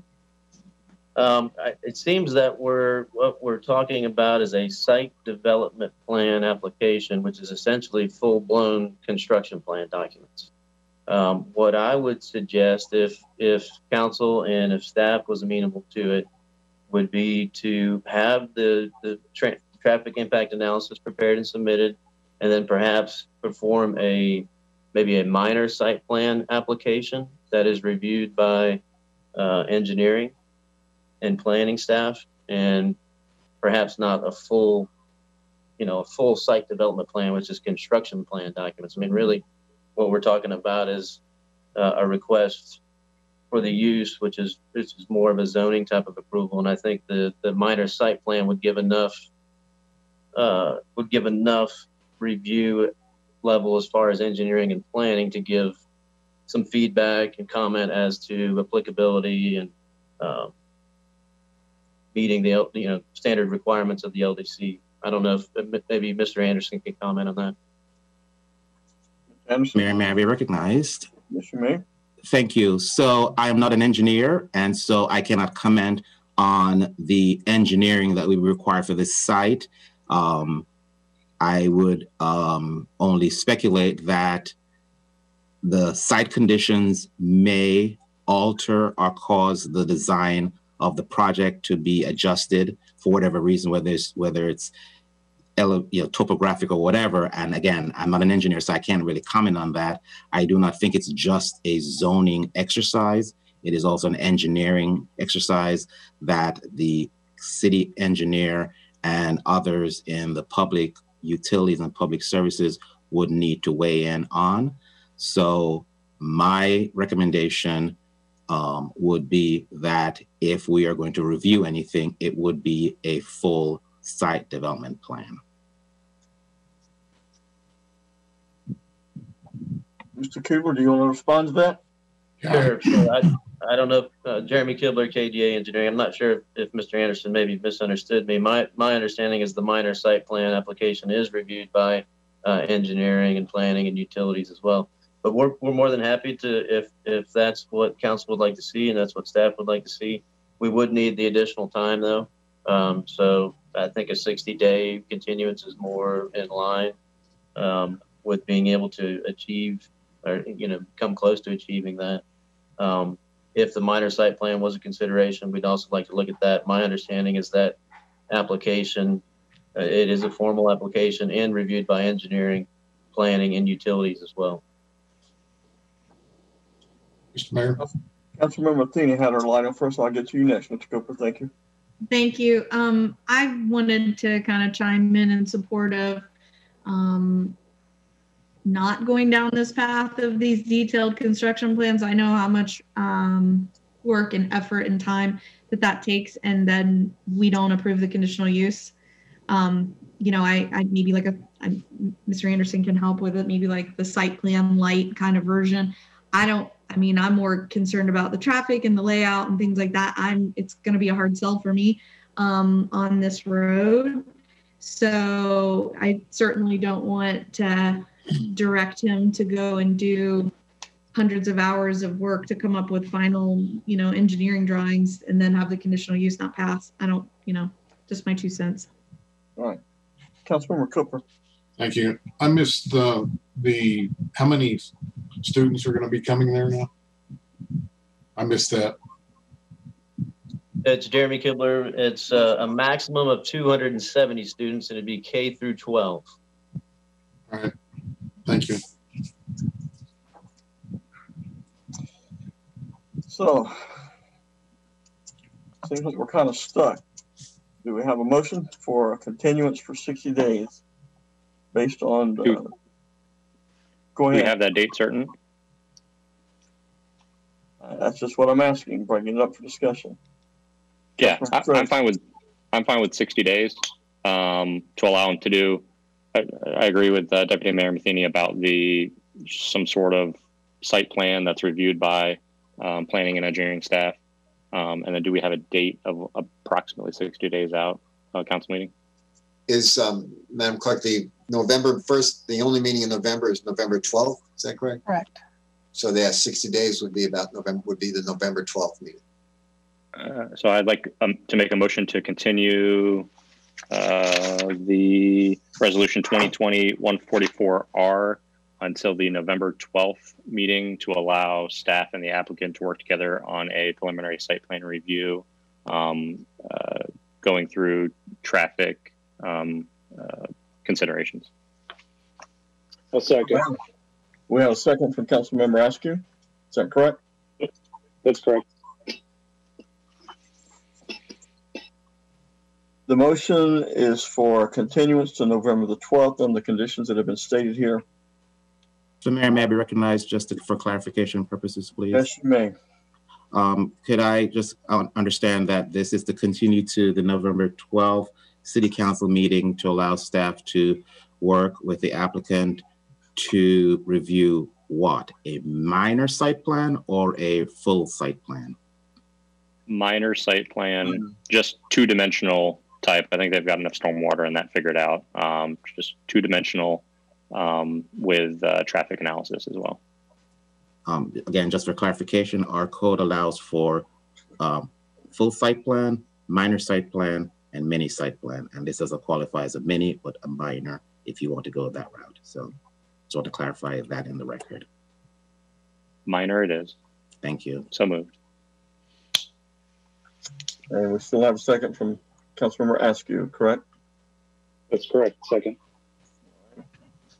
Everyone understand what the motion is? Madam Clerk, will please call the roll. Councilmember Askew, Aye.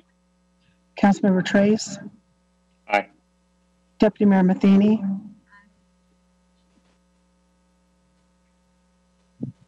You need, you're gonna need to unmute yourself. You talk, I did. I, I'm sorry, I didn't hear your eye. Councilmember Cooper, Aye. Mayor Blackwell, Aye. motion carried five zero. Mr. Kibler, you have some work to do. A lot of work, Thank you. it's like. Thank you for your time. All right, thank you.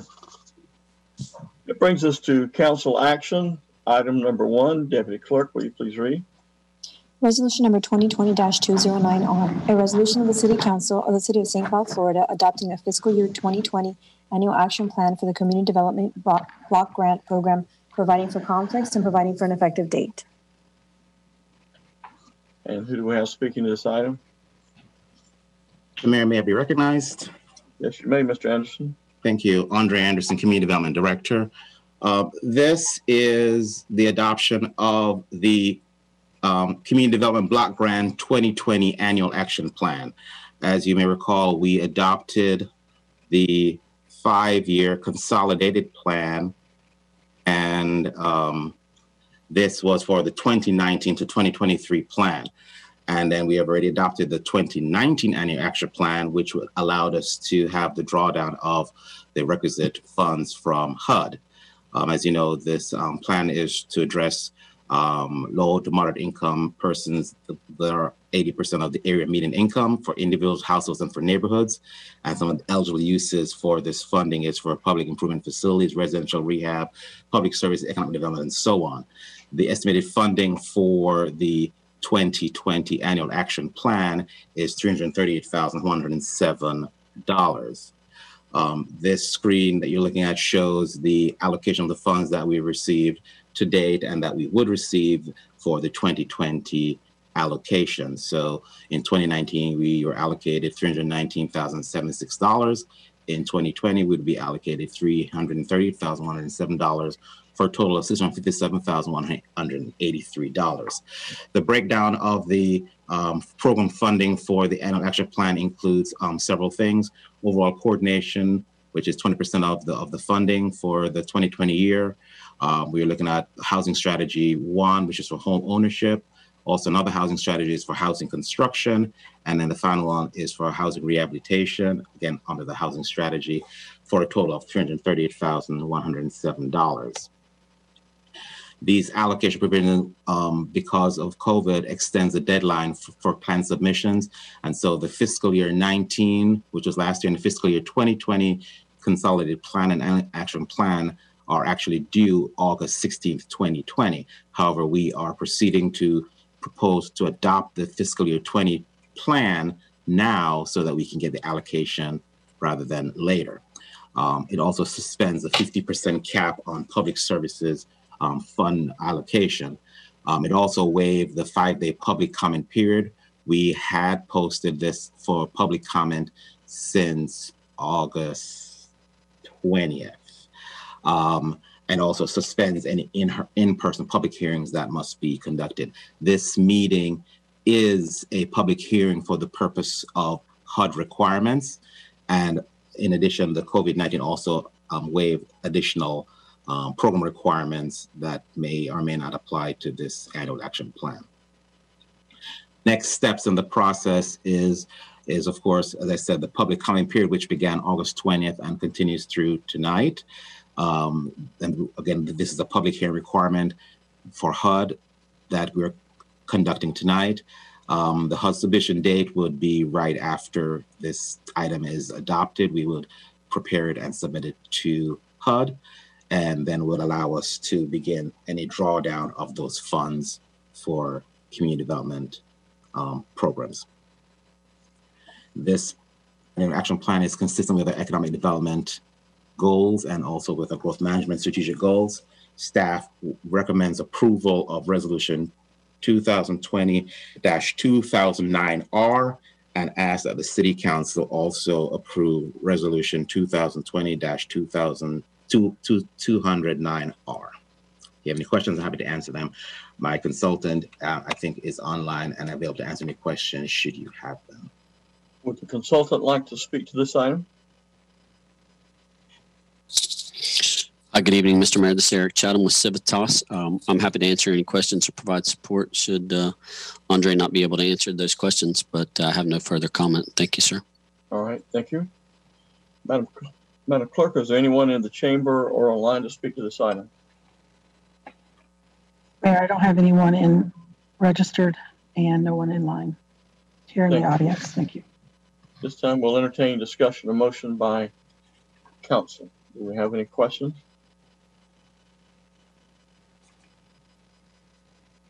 Could I entertain a motion for the adoption of resolution number 2020-209R? Motion to approve. We have a motion from Councilmember Trace, a second from Councilmember Askew. Yeah.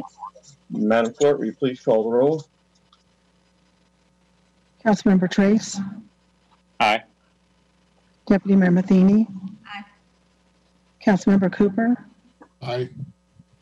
Councilmember Askew. Aye. Mayor Blackwell. Aye.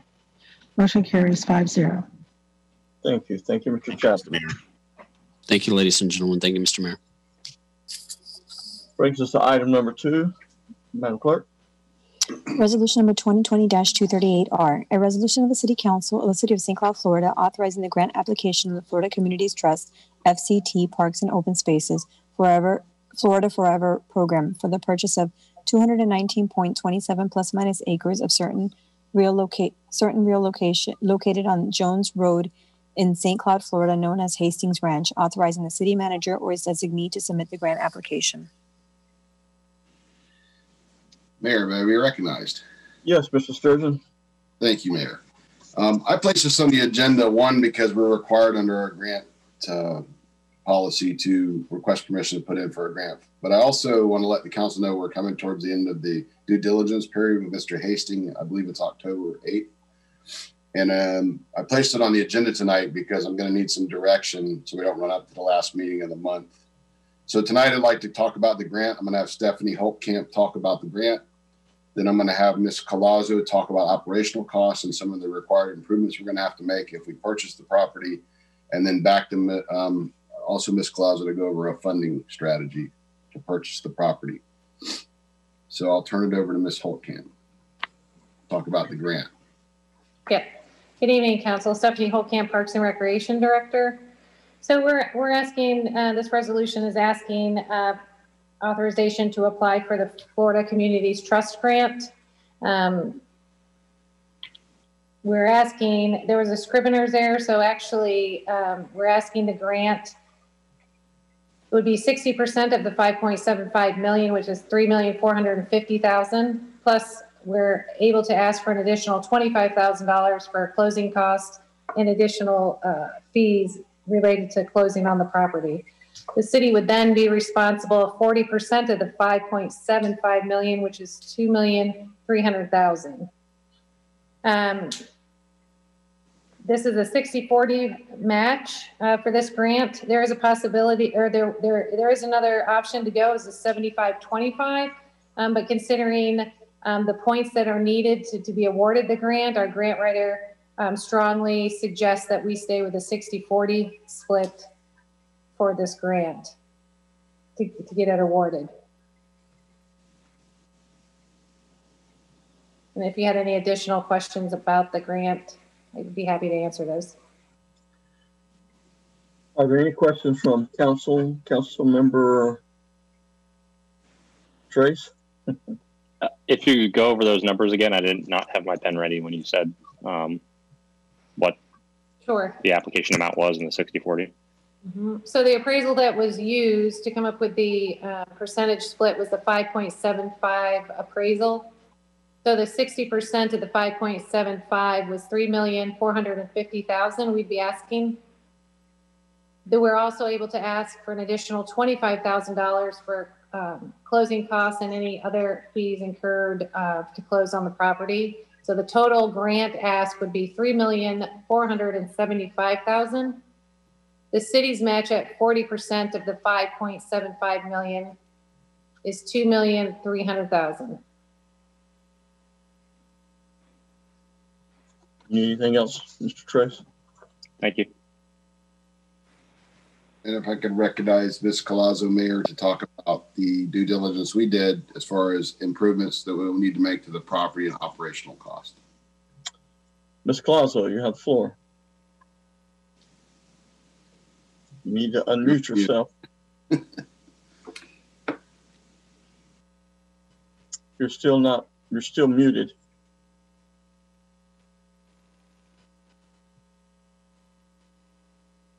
You're still muted. There you go. I can hear you now. Perfect. So sorry for that. Uh, good, good evening, uh, Mayor and uh, Honorable Council. As requested by the city manager, um, I will present a layout of, uh, one, the revenue analysis that has been done, as well as expenditure breakouts and, uh, the cost analysis in the purchase of Hastings Ranch. Just to lay down some background, uh, back a couple months ago, you were presented, as mentioned before, the FCT grant, which has been mentioned, which is the Florida Communities Trust with a timeline, um, excuse me, it's the Land and Water Conservation Fund grant, LWCF, with applications starting January 31st all the way through October 20th for contracts received. Um, with that being said, the appraised price of $5.75 million. Um, revenue was reviewed with all-day bookings and block time bookings at various rates, at residence rates and non-residence rates, with a projected potential revenue of $225,250 a year. That is with the expectation that this uh, park would be rented 52 weeks of the year completely um, at the various rates. This is an average amount of what was originally projected. With that being said, those numbers equate to an $18,000 a month revenue potential at the 52 week mark with the various rates um, presented. Operating costs, startup cost to include reoccurring costs is at $1.1 million, almost $1.2 million.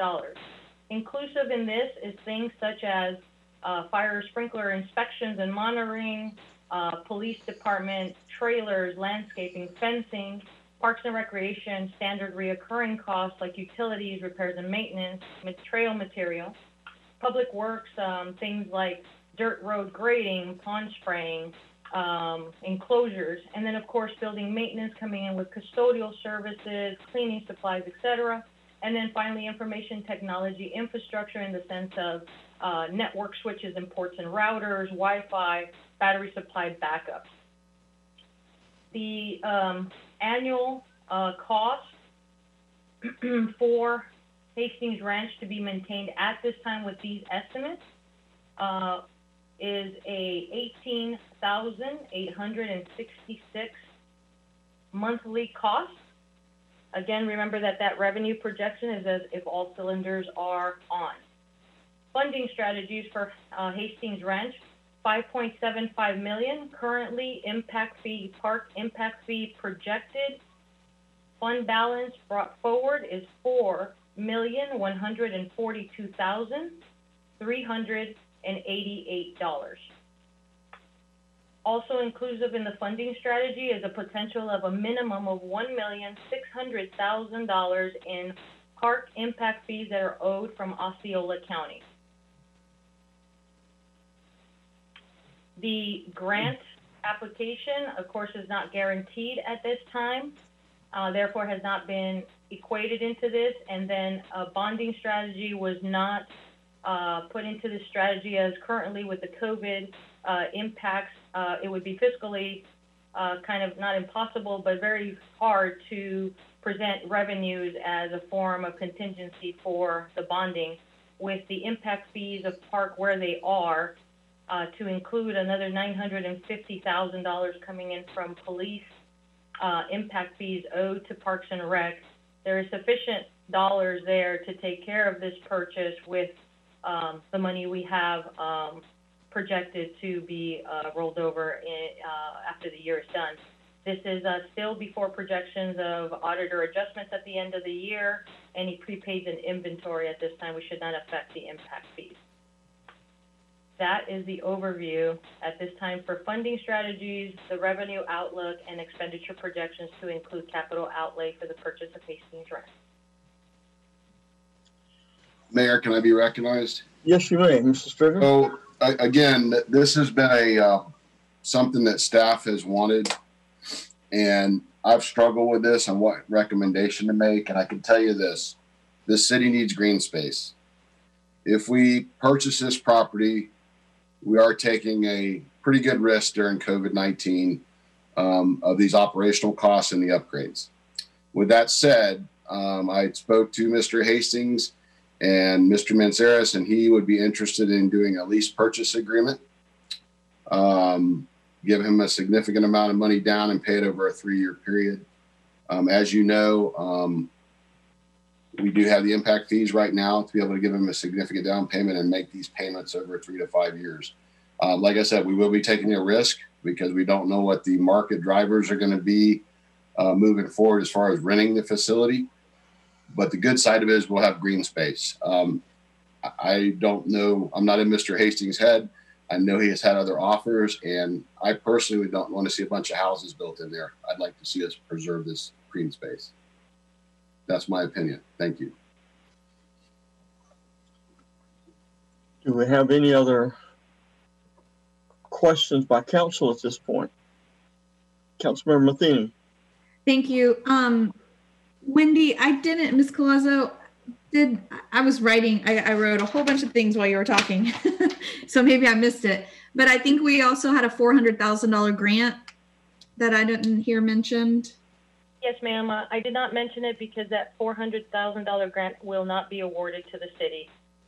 The environmental report that was submitted was not accepted by the grantor, therefore we are out of the running for the $400,000 award.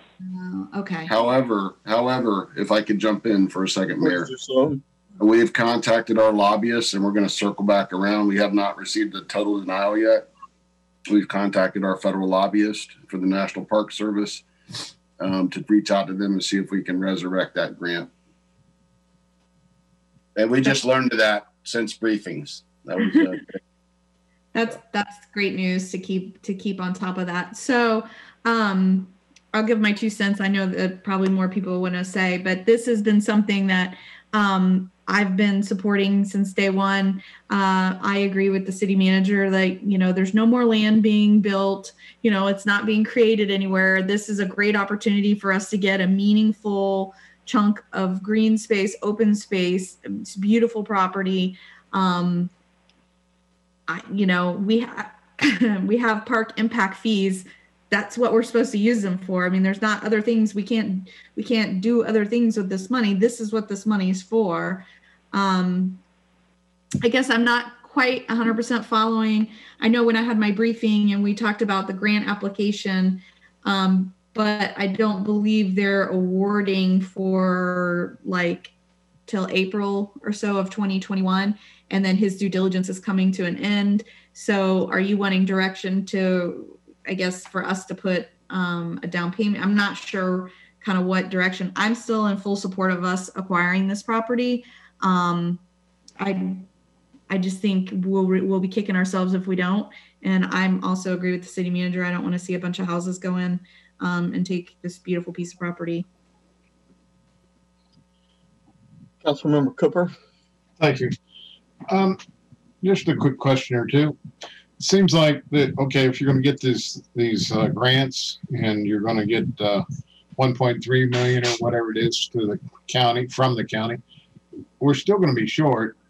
How much money we're going to be short of the 5.7? Well, we're, uh, I'm sorry, can I be recognized, Mayor? Uh, Yes, Ms. Colazzo. Okay, Wendy Colazzo, Finance Director. Um, Mr. Cooper, uh, we, we wouldn't really be short. The funding strategy list for 5.75.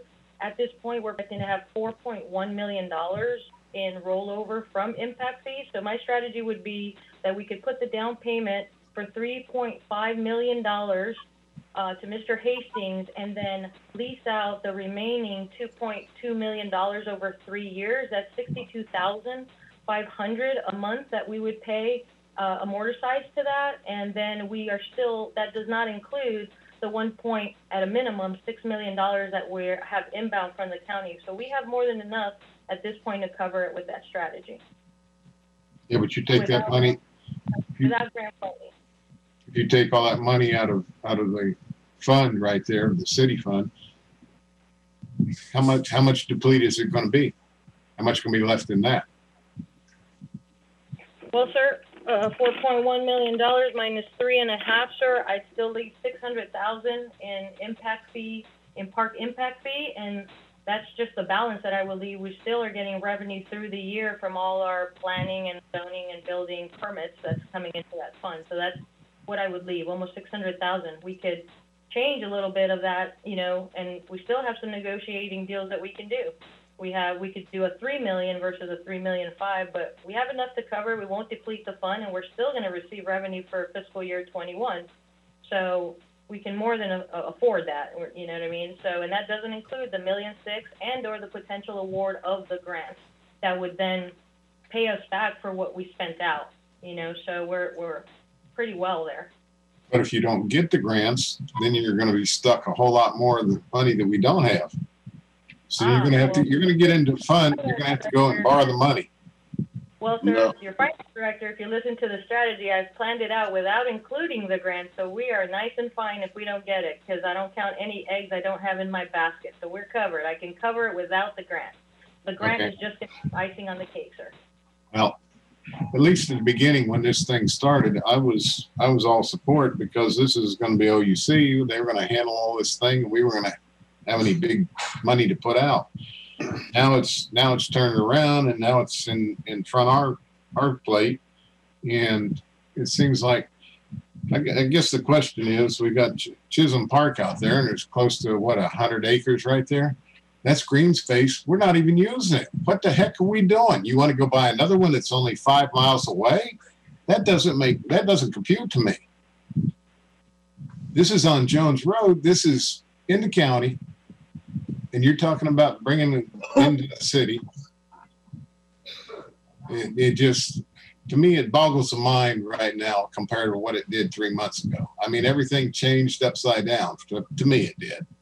So I, we've got to be good stewards of spending the money from the citizens. And I understand this money is in the, in the bank right now from St. Cloud, but that, that doesn't mean that you can just go and buy another hundred acres because you just like to it. And, and it's, you know, it's, it's five miles away from where we're at now. We've already got a, right there at Chisholm Park. I cannot see that. I'm sorry. That's it.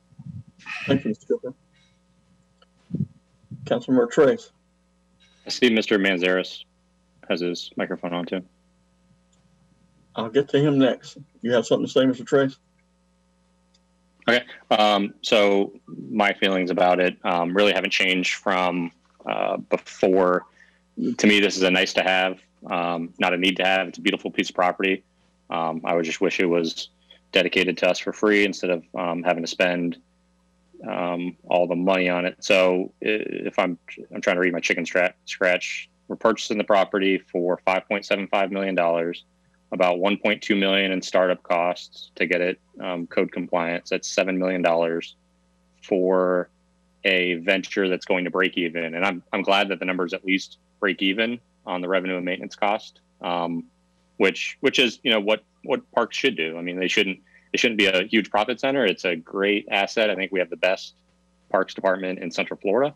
Um, and I think they could run this as a first class facility. It's just the the upfront cost of seven million dollars. Um, you know, the only way I'd support this is if we had the guarantee on that grant, um, but that's only covering three and a half million out of seven million dollars.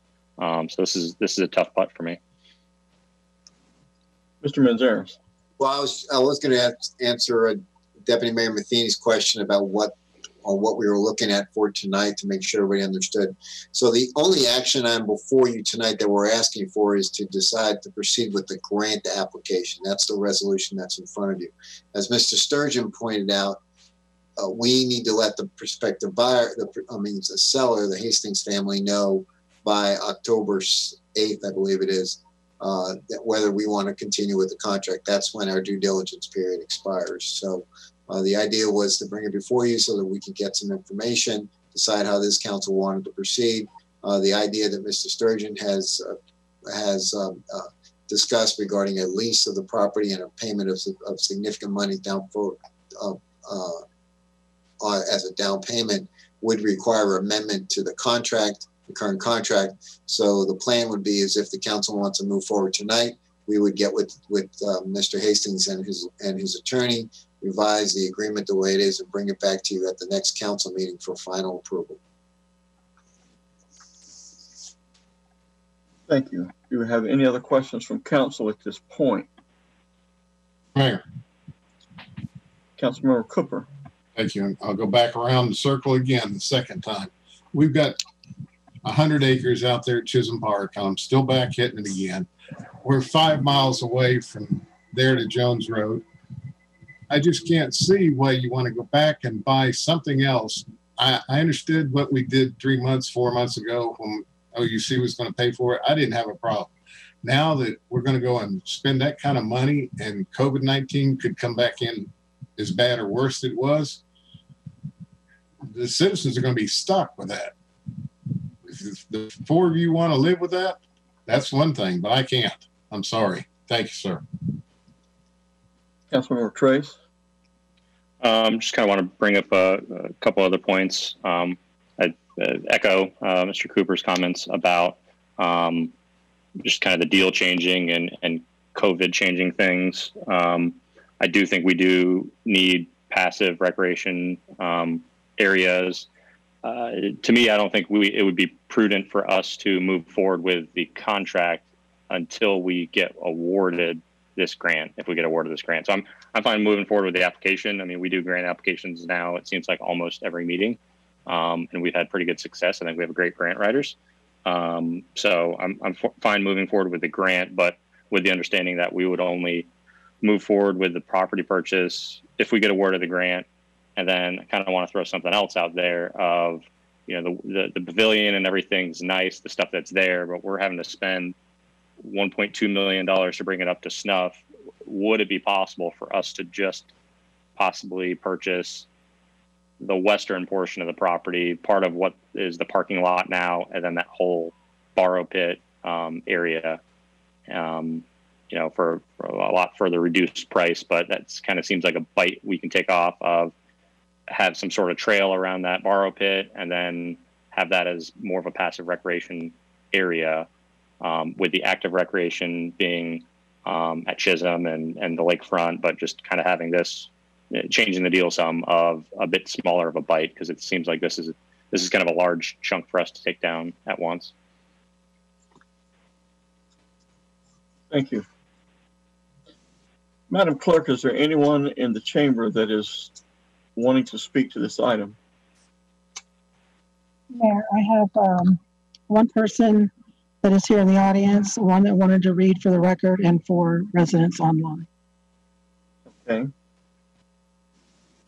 We'll have them speak and they can read their statement into the record. Yes, sir. We have Betty Damke in the audience to speak. She will be coming to the podium. Okay.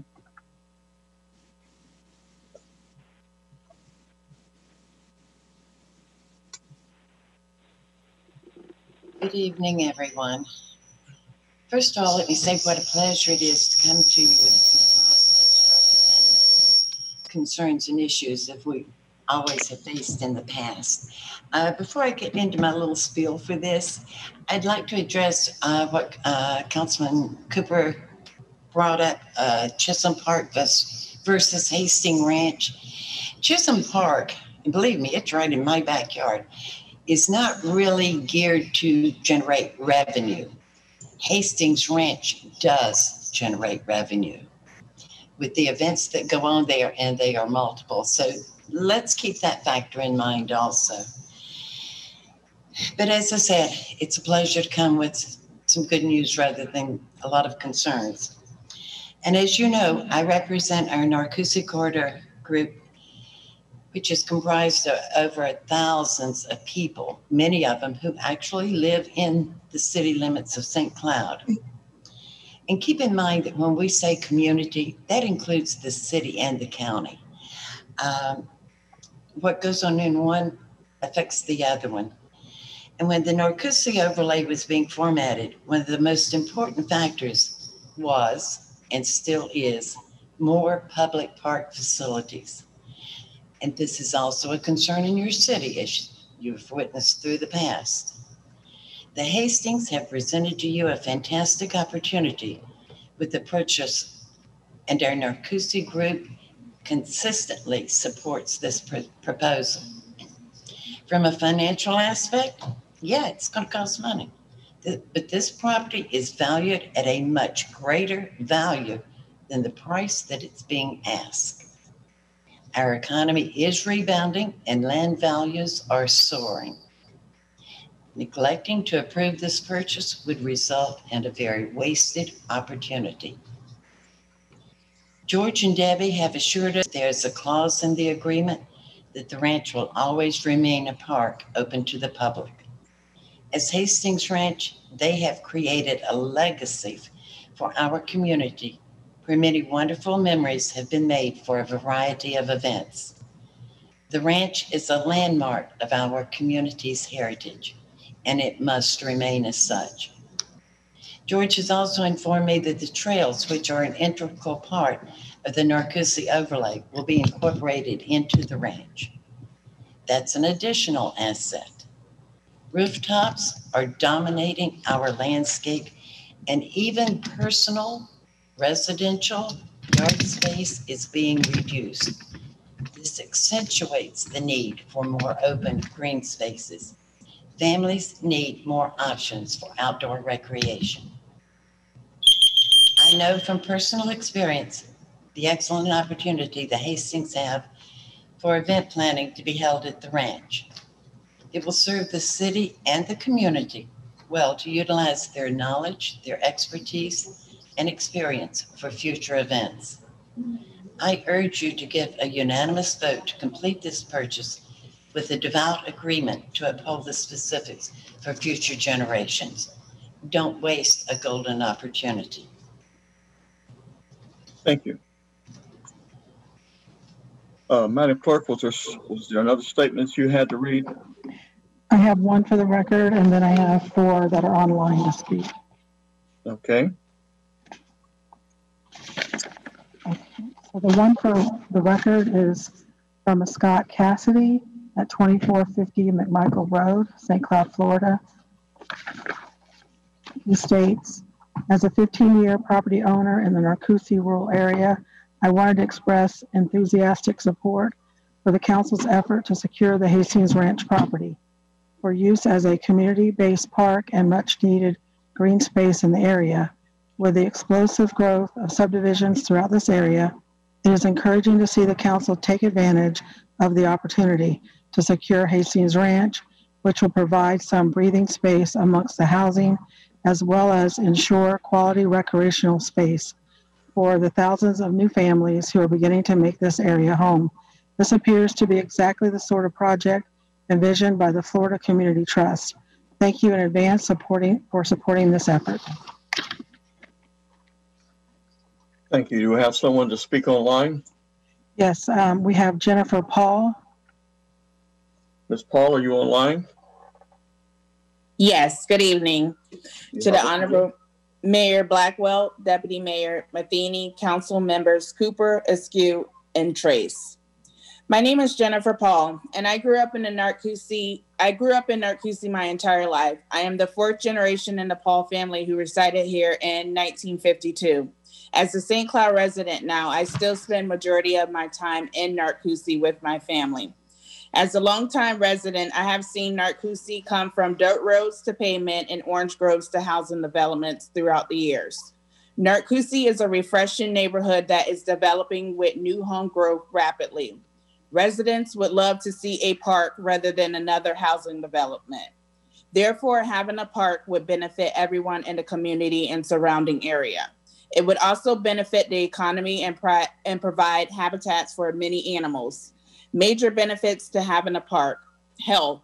Parks encourage physical activity and staying, sustain health, healthy lifestyles, taking advantage of any walking paths surrounding the park, exploring the outdoor adventures of nature and wildlife. Parks help restore people from the stress of day to day challenges. Social connection. Parks provide gathering places for families, churches, and social groups, as well as individuals to gather for family and social events. Environment. If you can skip the car and just walk to the park in your area, you can save the gas and carbon emissions and stay local. Families can make the trip a learning experience with their kids by packing some garbage bags and spending a few minutes cleaning up any garbage you may find at the park. Teaching your kids it's their neighborhood and park to help keep it clean. Economic, consider the park as an economic development and not just a drain on the city budget.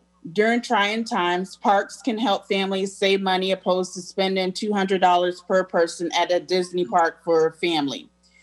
Families can go to the park and play games, have a picnic, hike the trails, jog, canoeing, etc. Parks can draw visitors from near and far. Festivals can be held to bring additional boost to the local economy. This is just a handful of reasons why parks are important. Please consider this park opportunity at the Hastings Ranch in Narcoossee. Thank you. Thank you. Thank you, Ms. Paul. Mm-hmm. Madam Clerk, do we have, Next, we have Timothy St. Gordon. Gordon, are you on? I'm here, Mr. Mayor. Can you hear me? Yes, I can. You have the floor. Thank you. Thank you, Council. I appreciate it. Appreciate your time and, and the meeting as well. Um, my name is Tim St. Gordon. I reside at 6205 Lake Lizzie Drive in St. Cloud. Um, while I am not a resident of the city of St. Cloud, um, I do have a business, a real estate brokerage in St. Cloud Commons, just on the west side of St. Cloud. And I've been here since 1993. Uh, I live on the Alberta Chain of Lakes. I'm also the president of the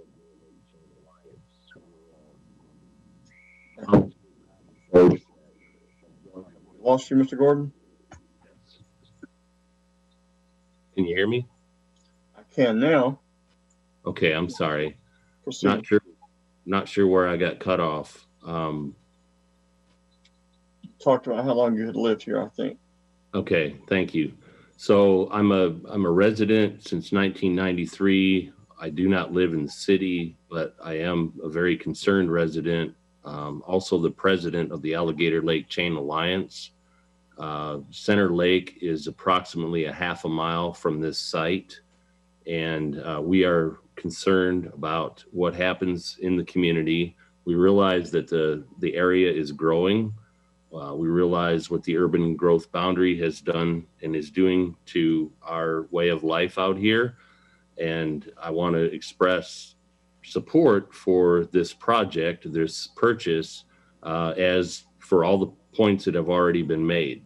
Um, I would also like to point out, if I could, to the council that uh, the Florida Communities Trust also purchased the property right across the lake from me called the Lake Lizzie Preserve, which was 940 acres and is now a nature preserve that has done very, very well and is a, is a centerpiece for everyone in Osceola County and people that come here as well.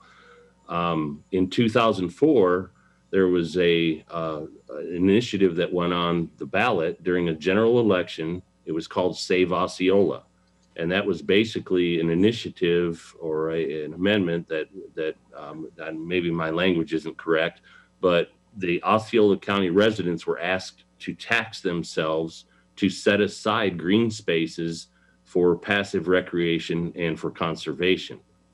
Uh, this this project went very well. It was uh, run by Kevin Schoolfield of Schoolfield Properties and Rob Dent, who was uh, a, a, nature guy, tree hugger, I call him, which I'm partially guilty of that myself.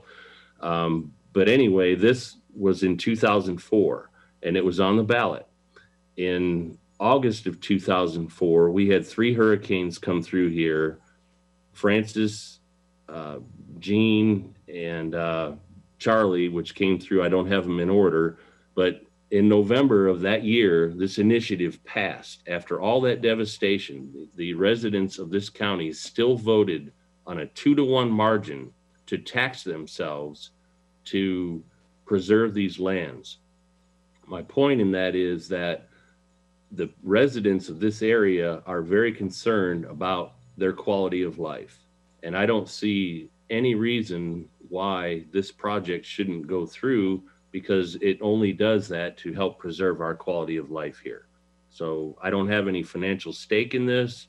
Um, I don't have any knowledge of who is benefiting or not benefiting from it, but I did hear about it and I support this. Thank, Thank you.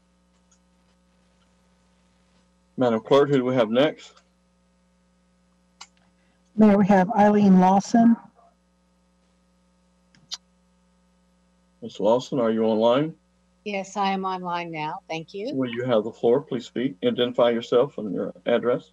Yes, my name is Eileen Lawson. I live at 3174 Waterbridge Lane. That's in the Fells Cove subdivision. Thank you. And, and I too am in total support of this. I have been coming to this area since the early 80s. I have watched this change from our beautiful space wonderful area. And all I have seen is growth upon growth upon growth. And I remember when it was just a blinking light there at Jones Road. Now it's a traffic light. I remember when it was two lane and now it's four lane. And now there's subdivisions everywhere. They're coming more and more subdivisions. Our families are desperate for places that we can take our families. As I heard someone say before, we have to drive everywhere. Hastings Ranch has that amazing fall festival. It is a it can be a destination. And we desperately, desperately need to keep some of these green spaces so that we can teach our children about environmental things. Most of our children don't even understand where some of our food comes from because, you know, it comes from the grocery store.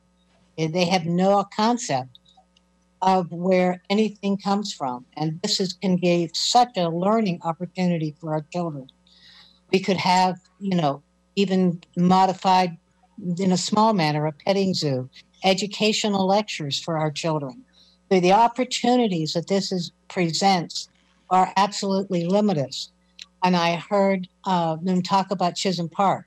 Chisholm Park is a nice park, but it does not even begin to offer the opportunities that you have at Hastings Ranch, let alone as somebody else mentioned the uh, already revenue that's already there. So I really and truly ask you to please uh, consider this as a way to benefit our children and all our future growth. Thank you. Thank you, Ms. Lawson. Madam Clerk, do we have one other, did you say? Correct. Um, Jackie Eagleston or Eagleton. Ms. Eagleton, are you with us?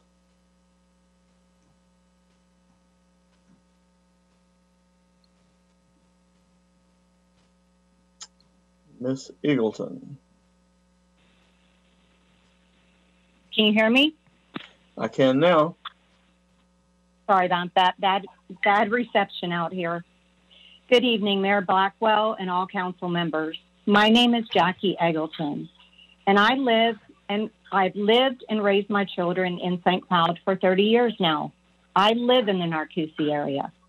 I'm calling in today to share with all the members our support for the city to please preserve the Hastings Ranch for our community. This beautiful, rare, preserved green space is a endless asset to our community. For many years now, the ranch has been there for many years now, already serving our local community as a great outdoor venue for various events. Over the years, I have heard from hundreds of our residents of how much they love this preserved land and how much they enjoy bringing their families out to the ranch for the various events. This ranch is a safe space for families to gather, like taking an evening walk after work or school, or just walking your dog, riding your bikes, enjoying the quality time outside with your family and friends, and most of all, enjoying nature. Due to our recent and continued growth of the new homes and businesses in our area, the preservation of this ranch is urgent need in our area. We all need to make sure that our community has an even balance of homes, businesses, and priceless natural parks. As we all have realized in the last several months, how important it is to have these outdoor green spaces to enjoy, exercise, both for our physical and our mental health. We all have seen a lot of changes in our area. Grow, our growing St. Cloud community and some of the changes we've had have not been a positive for our residents. But I can say that the preservation of the Hastings Ranch is a definite positive for our residents and our community. This, this um, is what we need in our community, and I think we all can agree on that. So, as we grow and change for the best quality communities we can offer, it is our responsibility to make sure that we preserve the Hastings Ranch land for many generations to come, for our children, our grandchildren, and all the generations to come. This will benefit our community for many generations. This is our duty to our residents of our community to indefinitely preserve this land. We have a rare opportunity right now to acquire this land for a great market value. That's an, that is amazing in today's market. So I would like to thank all of you for listening to our concerns. Mayor Blackwell, Deputy Mayor Matheny, Council Councilmember Askew, Councilmember Cooper, and Councilmember Trace. Thank you guys so much. Thank you, Jackie. We don't have anyone else to speak, do we? Madam Correct, Mayor. We have no one else to speak in online or in person. Well, I don't see anybody's line. I'd like to speak. Um, first, I'd like to thank uh, all the staff that have worked on this, especially Ms. Colazzo putting together all of those numbers. Uh, that's obviously uh you put a lot of work into that. Uh, I am certainly personally in favor of making this purchase, if at all possible. You know, when one of the big things I think we always regret was is looking back over our shoulder years later, saying, "Boy, we should have bought that," but now it's gone. Uh, I like the fact that it has the potential to generate income that at least uh, would break even on its maintenance, but I think it even has greater possibility than that. I, I do share the concerns that if we do not secure this grant, uh, I think we're going to have to take another hard look. You know, are we really ready uh, to to bite that bullet?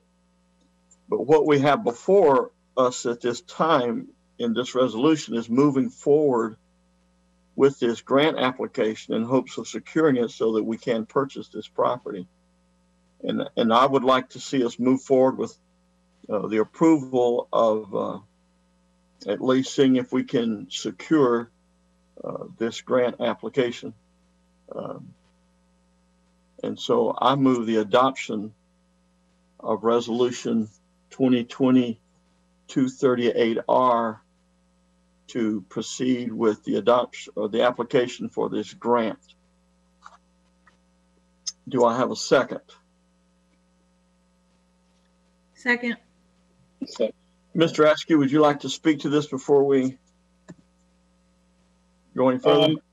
Um, I, I'm I'm actually I'm in favor. Um, there's tons of reasons why, um, but uh, I don't think we're going to get this opportunity to ever get a land like this again. And you know, this isn't like Nolte Road where I have this huge um, bill I have to pay every year, and I didn't make that decision. This bill, at least there's going to be some income coming in for it, so at least it's a, a generator of income. I mean, it's probably going to take ten years to make any money off it, but in 10 years, it's still going to look beautiful and there's not going to be a ton of houses. So I'm still in favor of this project. Hopefully, we can get the grant. And I don't know if that would be a Dan Mantzaris' question. Um, can you, is there a way to write the contract and um, contingency that the grant is approved? I'm not sure when that'll happen. I'll probably be in the spring, I would assume. We can certainly work on that, Mr. Askew, and see, I'm not sure the, uh, uh, well, I'm not sure how the seller is going to respond to that. Right, right. It's just an idea. Uh, actually, it's uh, Mr. Trace's idea. Mr. Trace, would you like to speak to this? Um, do we have an estimated date of when the grant award would come out?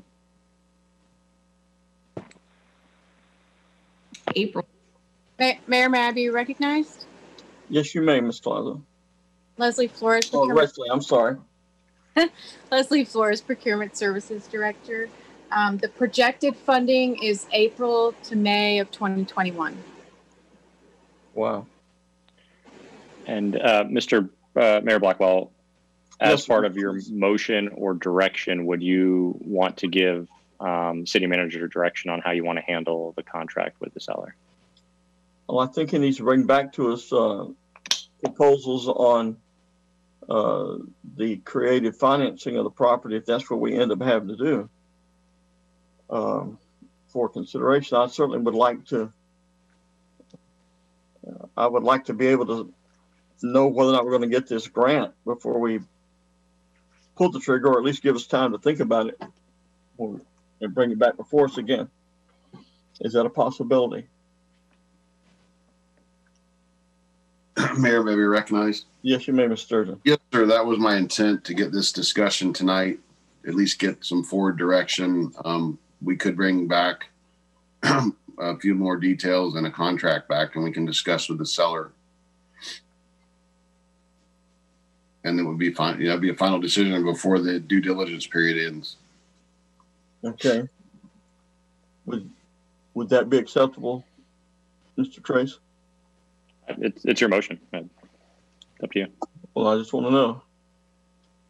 I, I'm I- perfectly I'm fine to- I'm with. willing to move forward with that motion if you can bring us, we, before, make a, a final decision on the, uh, we get to look at what you're proposing on a final contract. I'm going to entertain any, any other discussion. Council member, um, Mr. Cooper had his light off first. Go ahead, Mr.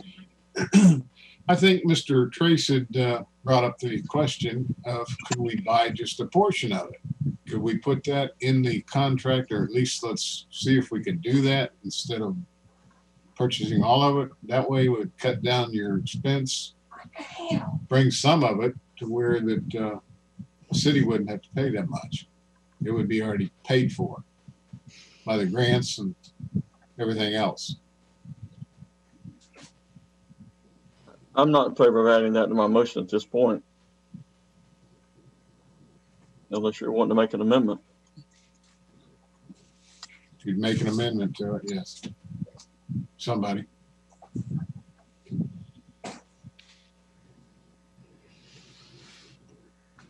Councilmember Matheny, Thank you.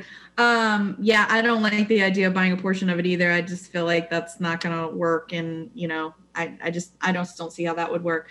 I mean, um, I definitely want us to come back and have a conversation because uh, Mr. Mantzaris said October 8th they could bring something back with the contract.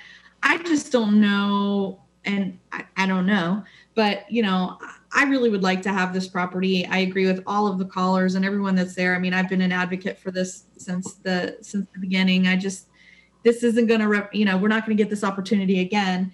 Um, and we do have the funding in our park and rec budget. We can cover it. I just feel like this is what the money's for. I mean, this is what the money is for, it's is to preserve this land. I like the idea Ms. Colazzo presented where we possibly give like a down payment, a larger down payment, and then we do the um, the leasing terms following that. I don't know how that impacts um, grant applications and can you repay yourself if you've already paid or you know whatever. I'll let the finance people figure that out. But I feel like this is a this is a great opportunity for the city, and um, I just feel like we're going to waste it.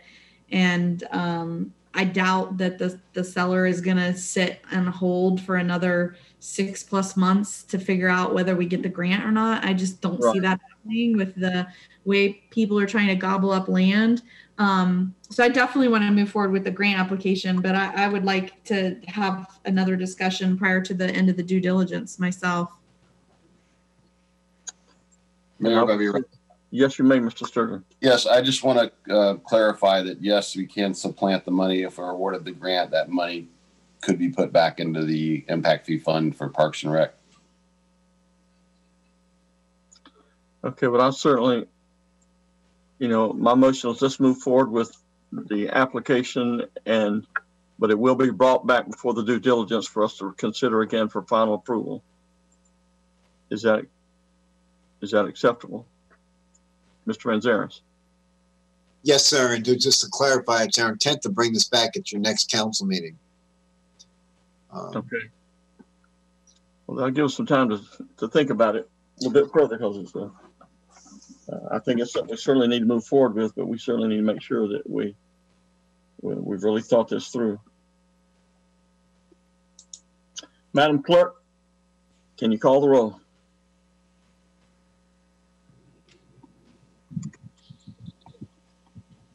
Mayor, I also um, just wanted to mention Dirk Webb has raised his hand to speak. Oh, batteries, please charge. Dirk, uh, I'll allow Dirk to speak.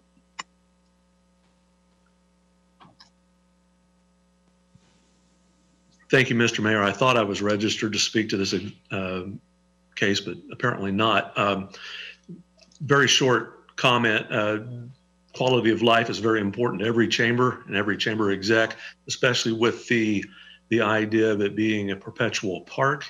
And so the St. Cloud Chamber of Commerce supports this opportunity as well. Thank you. Thank you. Madam Clerk, will you call the roll now? Deputy Mayor Matheny? Aye. Councilmember Cooper? As long as it dies, as long as it ties in with the getting the money. Aye. Councilmember Askew? Aye. Councilmember Trace? Aye. Mayor Blackwell? Aye. Motion carries five zero.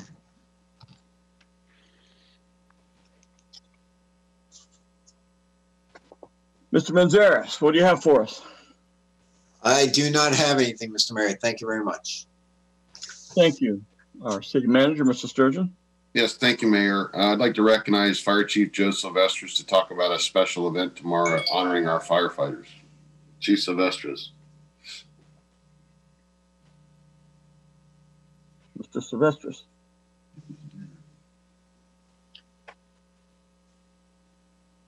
Well, I think you're out there somewhere. There you are.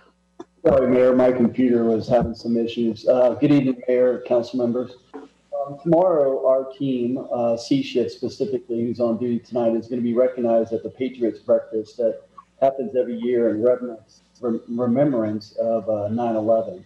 And they're being the heroic efforts that they did at the Foster Fire on Georgia Avenue uh, earlier this year. And uh, in attendance will be the whole team. So it'll be a, a very nice um, honoring of their efforts uh, at 9/11. It's usually a really big event, and there's a lot of VIPs that kind of scaled it down because of COVID. Um, but it's going to be televised on Orange TV and uh, YouTube. So hopefully we'll be able to archive it. And um, I was working with Mary Emma to hopefully get it on um, our webpage and social media pages. So maybe we can see it during uh, some live efforts. But it starts tomorrow at 8. Um, and uh, it's a big deal for St. Cloud and St. Cloud Fire Rescue. And uh, those guys did an amazing job. Thank you very much. We uh, look forward to being a part of that. Thank you, Mayor. Mr. Sturgeon, you have anything else? No, Mayor. Thank you. Uh, Mr. Cooper. Councilman Cooper. You are muted. Need to unmute your mic. Thank you. Mr. Sturgeon, one more time, when do you think we're going to get uh, downtown some sound system? It is on the agenda for the 24th. I need like that answer. It's on the next agenda to approve the money for that. Okay. And I guess the last question is about flooding the manhole covers on the west west of the grid. Yes, tell sir. me what tell me what we're doing to repair fix this thing. Are we yep. flushing? Are you flushing out? Hang on a second. Are you flushing out these lines? Are going to be flushing them or, or sucking out the sand out of there? And we put a uh, a multiple department task force together today, and I'm going to have Marjorie Craig and Nassim talk to that. I'll have Nassim talk about the flooding in general, and then I'll have Miss Craig talk about what we're doing for the the uh, wastewater backup. So Nassim, if you could just talk a few minutes what our actions have been so far. Uh, yes, sir. This is uh, Nassim Public Works Department. Uh, in regards to uh, the flooding, yesterday uh, we uh, we received about a uh, 4.37 inch rain event in about uh, a short time period, within about an hour, an hour or so. it was a it was shown on the news, Channel Nine News, documented on that. Um, so that that that type of rain event, compounded with the several days of rain that we've been receiving, are as you know, our our flood, excuse me, our stormwater system is a combination of underground uh, or open open swales, underground piping, as well as uh, percolation, uh, absorption through the groundwater. And our groundwater system has been uh, very saturated, which unfortunately uh, affects not just our, uh, you know, the ability to drain, but also affects other t- types of utilities. On that, um, after the storm event yesterday, excuse me, during the storm event yesterday, we closed down a couple, uh, two streets in the historical grid, being Alabama as well as California, uh, and around the 11th, uh, 11th Street block. Uh, but they were reopened shortly uh, within 30 minutes to allow traffic to go through. So it was really closed down as precaution. Uh, so, which was in, a good indication of the stormwater system draining through, because we've been doing a lot of uh, extensive uh, maintenance and as well as inspection around this around the area. Um, so that's uh, in terms of the flooding. Uh, I'll let Marjorie Craig talk uh, specifically about the utilities. Marjorie. Hi, this is Marjorie Craig, uh, Environmental Utilities Department Director, and I've been talking to residents, gathered staff. We've been trying to figure out the cause of uh, what appears to be uh, inflow of stormwater into the sanitary sewer system. So, um, and the amount of water, just to put it in perspective, because we've we've we've tried to come up with some creative ideas, uh, to fill a, an Olympic-sized swimming pool every three hours. Um, so, an Olympic-sized swimming pool holds, I think, about 460,000 gallons, something like that. It's about uh, over 5 million gallons a day, and that's probably an underestimate. So there's there's stormwater coming from somewhere, and it's infiltrating the sewer system. Um, so we uh, I've got I've brought in a hydraulic expert, uh, outside a hydraulic expert and field experts, two of the best that I know in the state, and I've been in the I'm I don't even want to tell you how many years I've been in utilities. I'll just tell you I started when I was a small child, um, and we're working really hard. Um, we care about this. We don't want this to happen. And uh, we're trying to fix it as soon as we can. Um, so we're trying to isolate the issue. We've been talking to customers. We've doing we've been doing field reconnaissance and working in public works as uh, we're working hand in hand with public works uh, with the PIO office to make sure we get the information out to let people know what we're doing, and uh, with parks and with procurement, uh, with the fire department. Um, did I miss one, Nasim? With everybody working as a team because we uh, we want to get this solved uh, as soon as possible.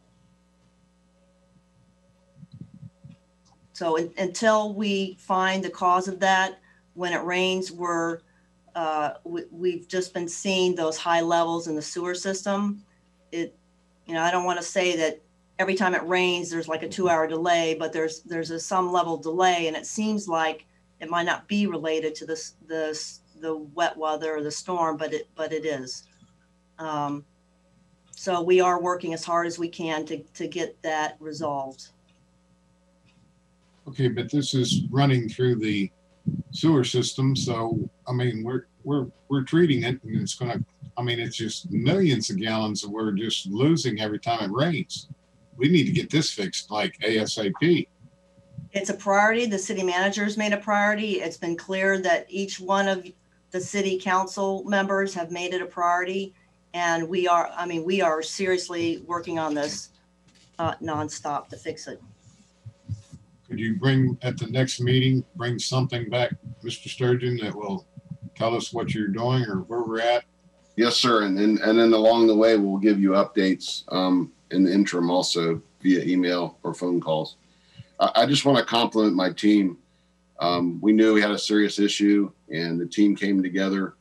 Um, they had uh, 10 people out working a day trying to solve the problem and uh, they've done a great job and, and Nasim's did a great job. We did an after action review after the flooding we had on Alabama. We've worked with the FDOT. We're working with the South Florida Water Management District to talk about lake levels. We're, we're looking at every aspect of our system to see how we can fix this. So uh, my team's done a great job. I'm very proud of them, but I will keep you guys in the loop for sure. Yes, sir. I, I really appreciate that. I think they've done a good job as best as they can, but then we're going to have to go beyond that, I think. So, yeah, absolutely. do that as soon as we can. I sure would appreciate it. Absolutely. That's it, sir. Thank you. Thank you, Scoop. Thank you, Councilman Cooper. Councilmember Trace. Thank you, Mayor. Um, two things I want to bring up. Uh, first one is during our budget review yesterday, as part of that, um, the, the letter, uh, it mentioned only $38,000 out of the $250,000 of um, support grants, the COVID support grants that we put out have been allocated. Um, maybe not necessarily if you guys aren't prepared for this meeting, but is there anything we can do to help get those out in the community better? Is there requirements that are onerous or is that not geared towards everyone that can apply for it? Um, because with it being out there for a couple of months, it seems like we we would have gone through a lot more of that those funds. Mayor, may we recognized? Yes, you may. Yes, sir. On the next agenda, I was reviewing agenda prep today. We're going to remove the stri- restriction of the PPP requirement. We think that'll start the money flowing because that's been a require, you know. And then I still owe you a, a level two, or I'm sorry, phase two. We haven't really come to a conclusion how we're going to disperse some of that money for commercial. So we'll bring that back next meeting. Okay, so we'll have um, on the agenda, we'll have specific language to modify that, um, the Yes. phase one stuff, recommendations on phase two? Yes, sir. Okay, thank you.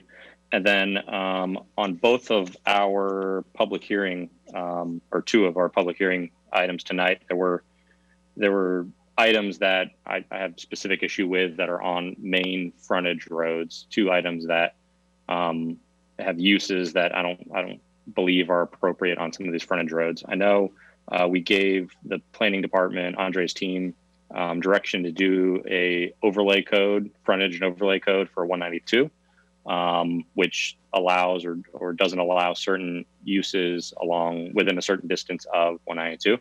Um, I was wondering if we could give some direction to kind of set up uh, some of the framework streets, Canoe Creek, Old Canoe Creek, possibly Michigan, um, Nolte, you know, s- some of these major highways that you know, maybe we don't have schools or charter schools on some of those roads. Maybe we don't have storage on some of those roads. Maybe we don't have certain items that cause known issues um, on some of those areas. So I just kind of wanted to get everyone's uh, input on that. Yeah. Are there any objections? I see thumbs everywhere, so that's a. That's all I need. Okay. And, and it could be specific to the roads. 192 maybe is a wider buffer than some of the other roads, but just, you know, if there's commercial areas, let's um, keep those commercial and, and keep those allowances there. But then now we've got agricultural uses that now we can get conditional uses that you can do a gas station essentially. But yeah, it's just a different, different item. So um, thank you. And I hope everyone stays uh, healthy and safe. Thank you. Councilmember Askew. I have nothing, Mayor. I appreciate everybody um, and uh, hang in there with the COVID. Councilmember Matheny. Um, I had a couple items, but Mr. Cooper covered them, the flooding and the sewer. I know um, ever since 192, the last time 192 went underwater, I know a house on Tennessee can't flush their toilets every single time it rains. So something has gone amiss for, you know, it's like, well, no flushing the toilets for two days. Um, so, um, you know, I appreciate all the hard work the staff's doing to try to un- unwind whatever problem is occurring. And um, I totally agree about the the the roads and the schools. I mean, that was my point tonight, where it's like nothing screws a, ro- a road up better than sticking a school on it. We all see it. Um, and uh, just everyone have a, a safe weekend and um, that's all i got.